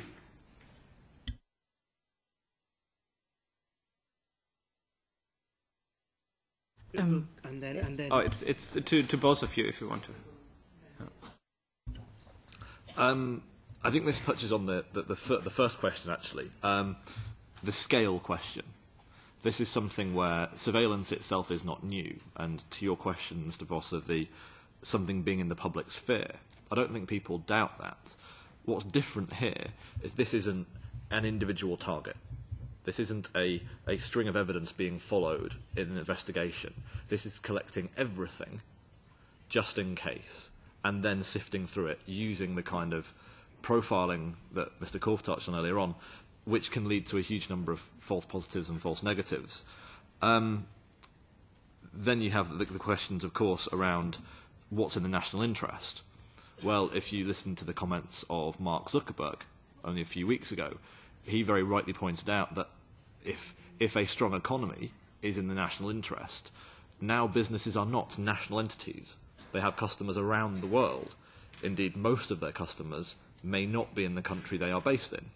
So to simply say, um, and follows Constanze's point, that it's just about the foreigners, don't worry about our own citizens, actually significantly undermines the national interest because it makes you a much less attractive place for someone to run a business um, Mr. Albrecht's point, I think this is the, the, the fulcrum of where rights and technology become a huge problem. Because what is now possible in terms of processing, in terms of volume of data, means that in Britain we have the, the Law Regulation of Investigatory Powers Act, written in the year 2000, which talks of these external communications, but that was written at a time where it was copper telephone cable not fibre optic internet cable. So you have old law being applied to new situations and new technology, which then enables a scale of surveillance which is unprecedented and, personally speaking, I do not think was intended by legislators either in the US or in the UK.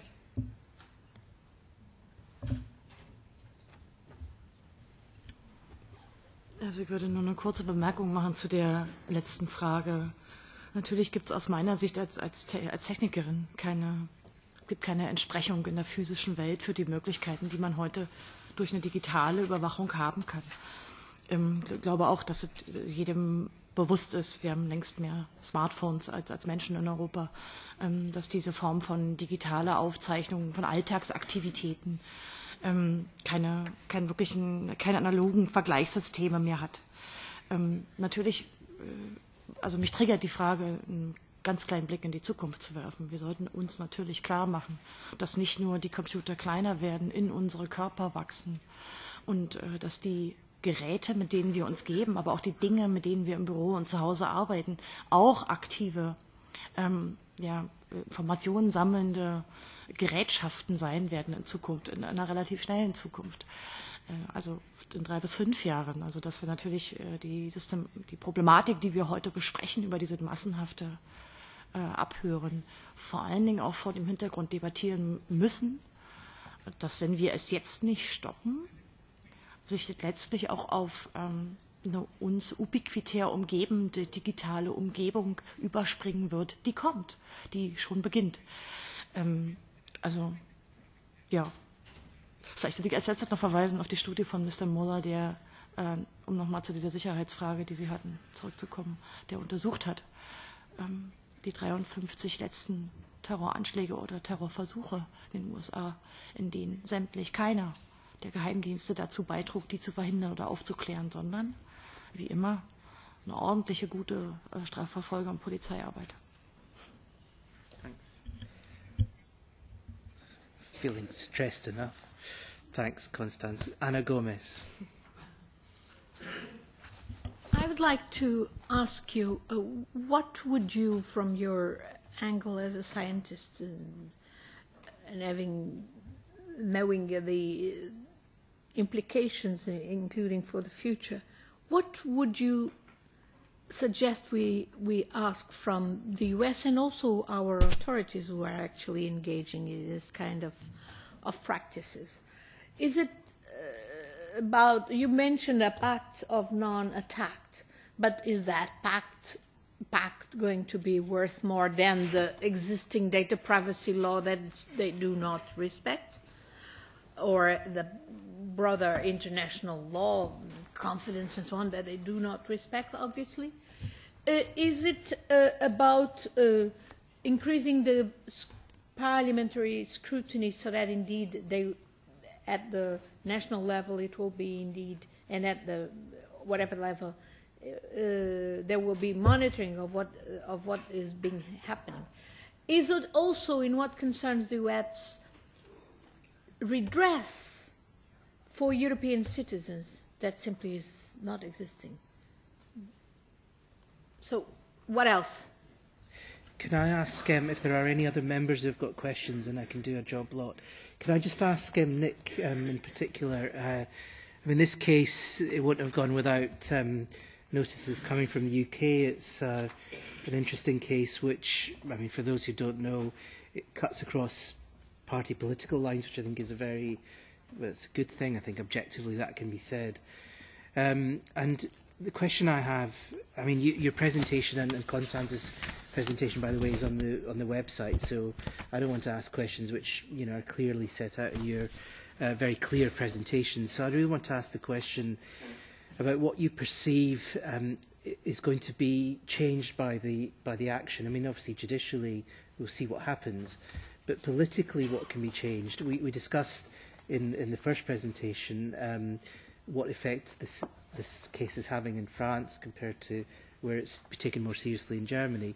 There is a problem in, in the UK for all sorts of political, cultural uh, reasons. What do you perceive is going to change here? I mean, I, I see Jacob Appelbaum is here. He spoke about this sort of demarcation between how people talk about security, the line between security and um, uh, freedom, and whether that's even, if I remember his description, whether that's even a kind of a line people should draw and all sorts of questions like this. But in the UK, I perceive that this case has been taken, but already, if you don't mind me saying, objectively, it's already been lost. I mean, are people really focusing on this? And if they are, what do they perceive that you're trying to achieve? This may seem like a naive question, but if it's got, if this is going to go beyond, you know, an inquiry like this or similar national inquiries to really be meaningful, uh, to people. What is it that they are going to achieve um, or you seek to achieve for, for a citizen? If you can, because um, you've been very articulate in your presentation, but try and encapsulate it for this inquiry, for the web stream, um, as to what it would achieve politically if judicially it, it hits a wall. Um, you know, what would you achieve from the case? I think, as Constanze has already alluded to, one of the fundamental problems here is a lack of information about what has happened. Uh, the US government, to its, its limited credit, has at least declassified some legal opinions. We've seen some movement towards greater transparency, towards some movement of allowing companies to inform their customers about what is going on. And I think that debate will come in the UK. Uh, the Intelligence and Security Committee itself said it has doubts as to whether the existing legal framework is adequate. I think we, we do have a problem that our safeguards are currently seen as very closed, very establishment bodies. The idea of ordinary citizens bringing legal action is something which has not been a pressing public issue in the UK for a range of issue, reasons. Um, I think that, that, that there's two important points. Firstly, Britain prides itself on having the mother of parliaments and our Foreign Secretary has led the way in terms of foreign policy about having frameworks at home that, if they are copied around the world, protect the rights of journalists, of human rights activists, of politicians, to ensure a civil society. And I think we are very dangerously coming close to a point where we do not have the moral authority to make those kind of assertions in a way that we have done to the credit of, of this government. Um, and I think the second part is it's, it's Mr. Albrecht's point. People have not yet perceived the scale of what is going on.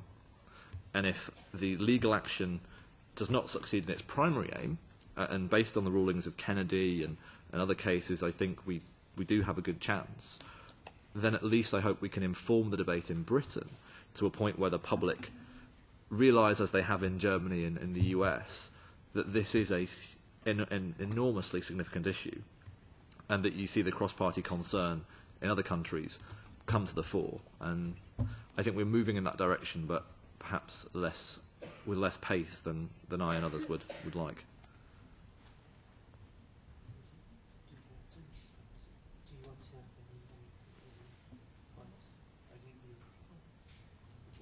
Colleagues, are, there any other any other questions?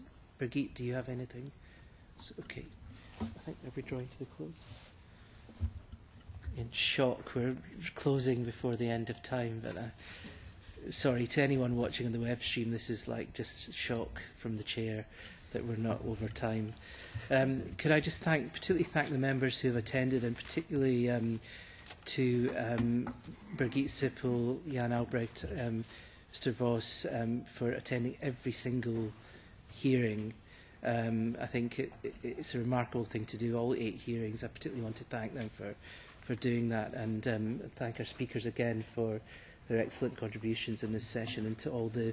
And could I thank, um, just take this opportunity, it has been web streamed, to thank, this is the eighth hearing, to thank our Secretariat for their um, excellent efforts in particular and um, all of our staff as well. Um, just on this eighth hearing, it's been a, a remarkable effort. Um, the speakers don't know what I'm talking about, but you're here as a result of their excellent efforts, so thank you again. I'm, I'm not going to be in the chair again, so this is just my uh, chance to do it. Thank you.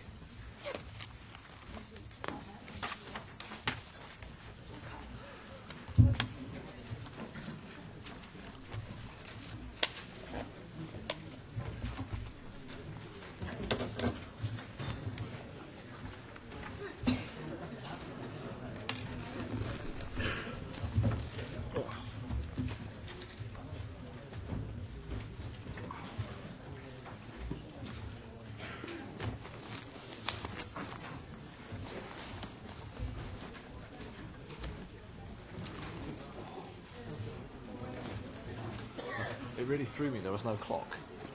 Ah. so I had no idea how long I've been speaking for. You just say that the clock didn't come up.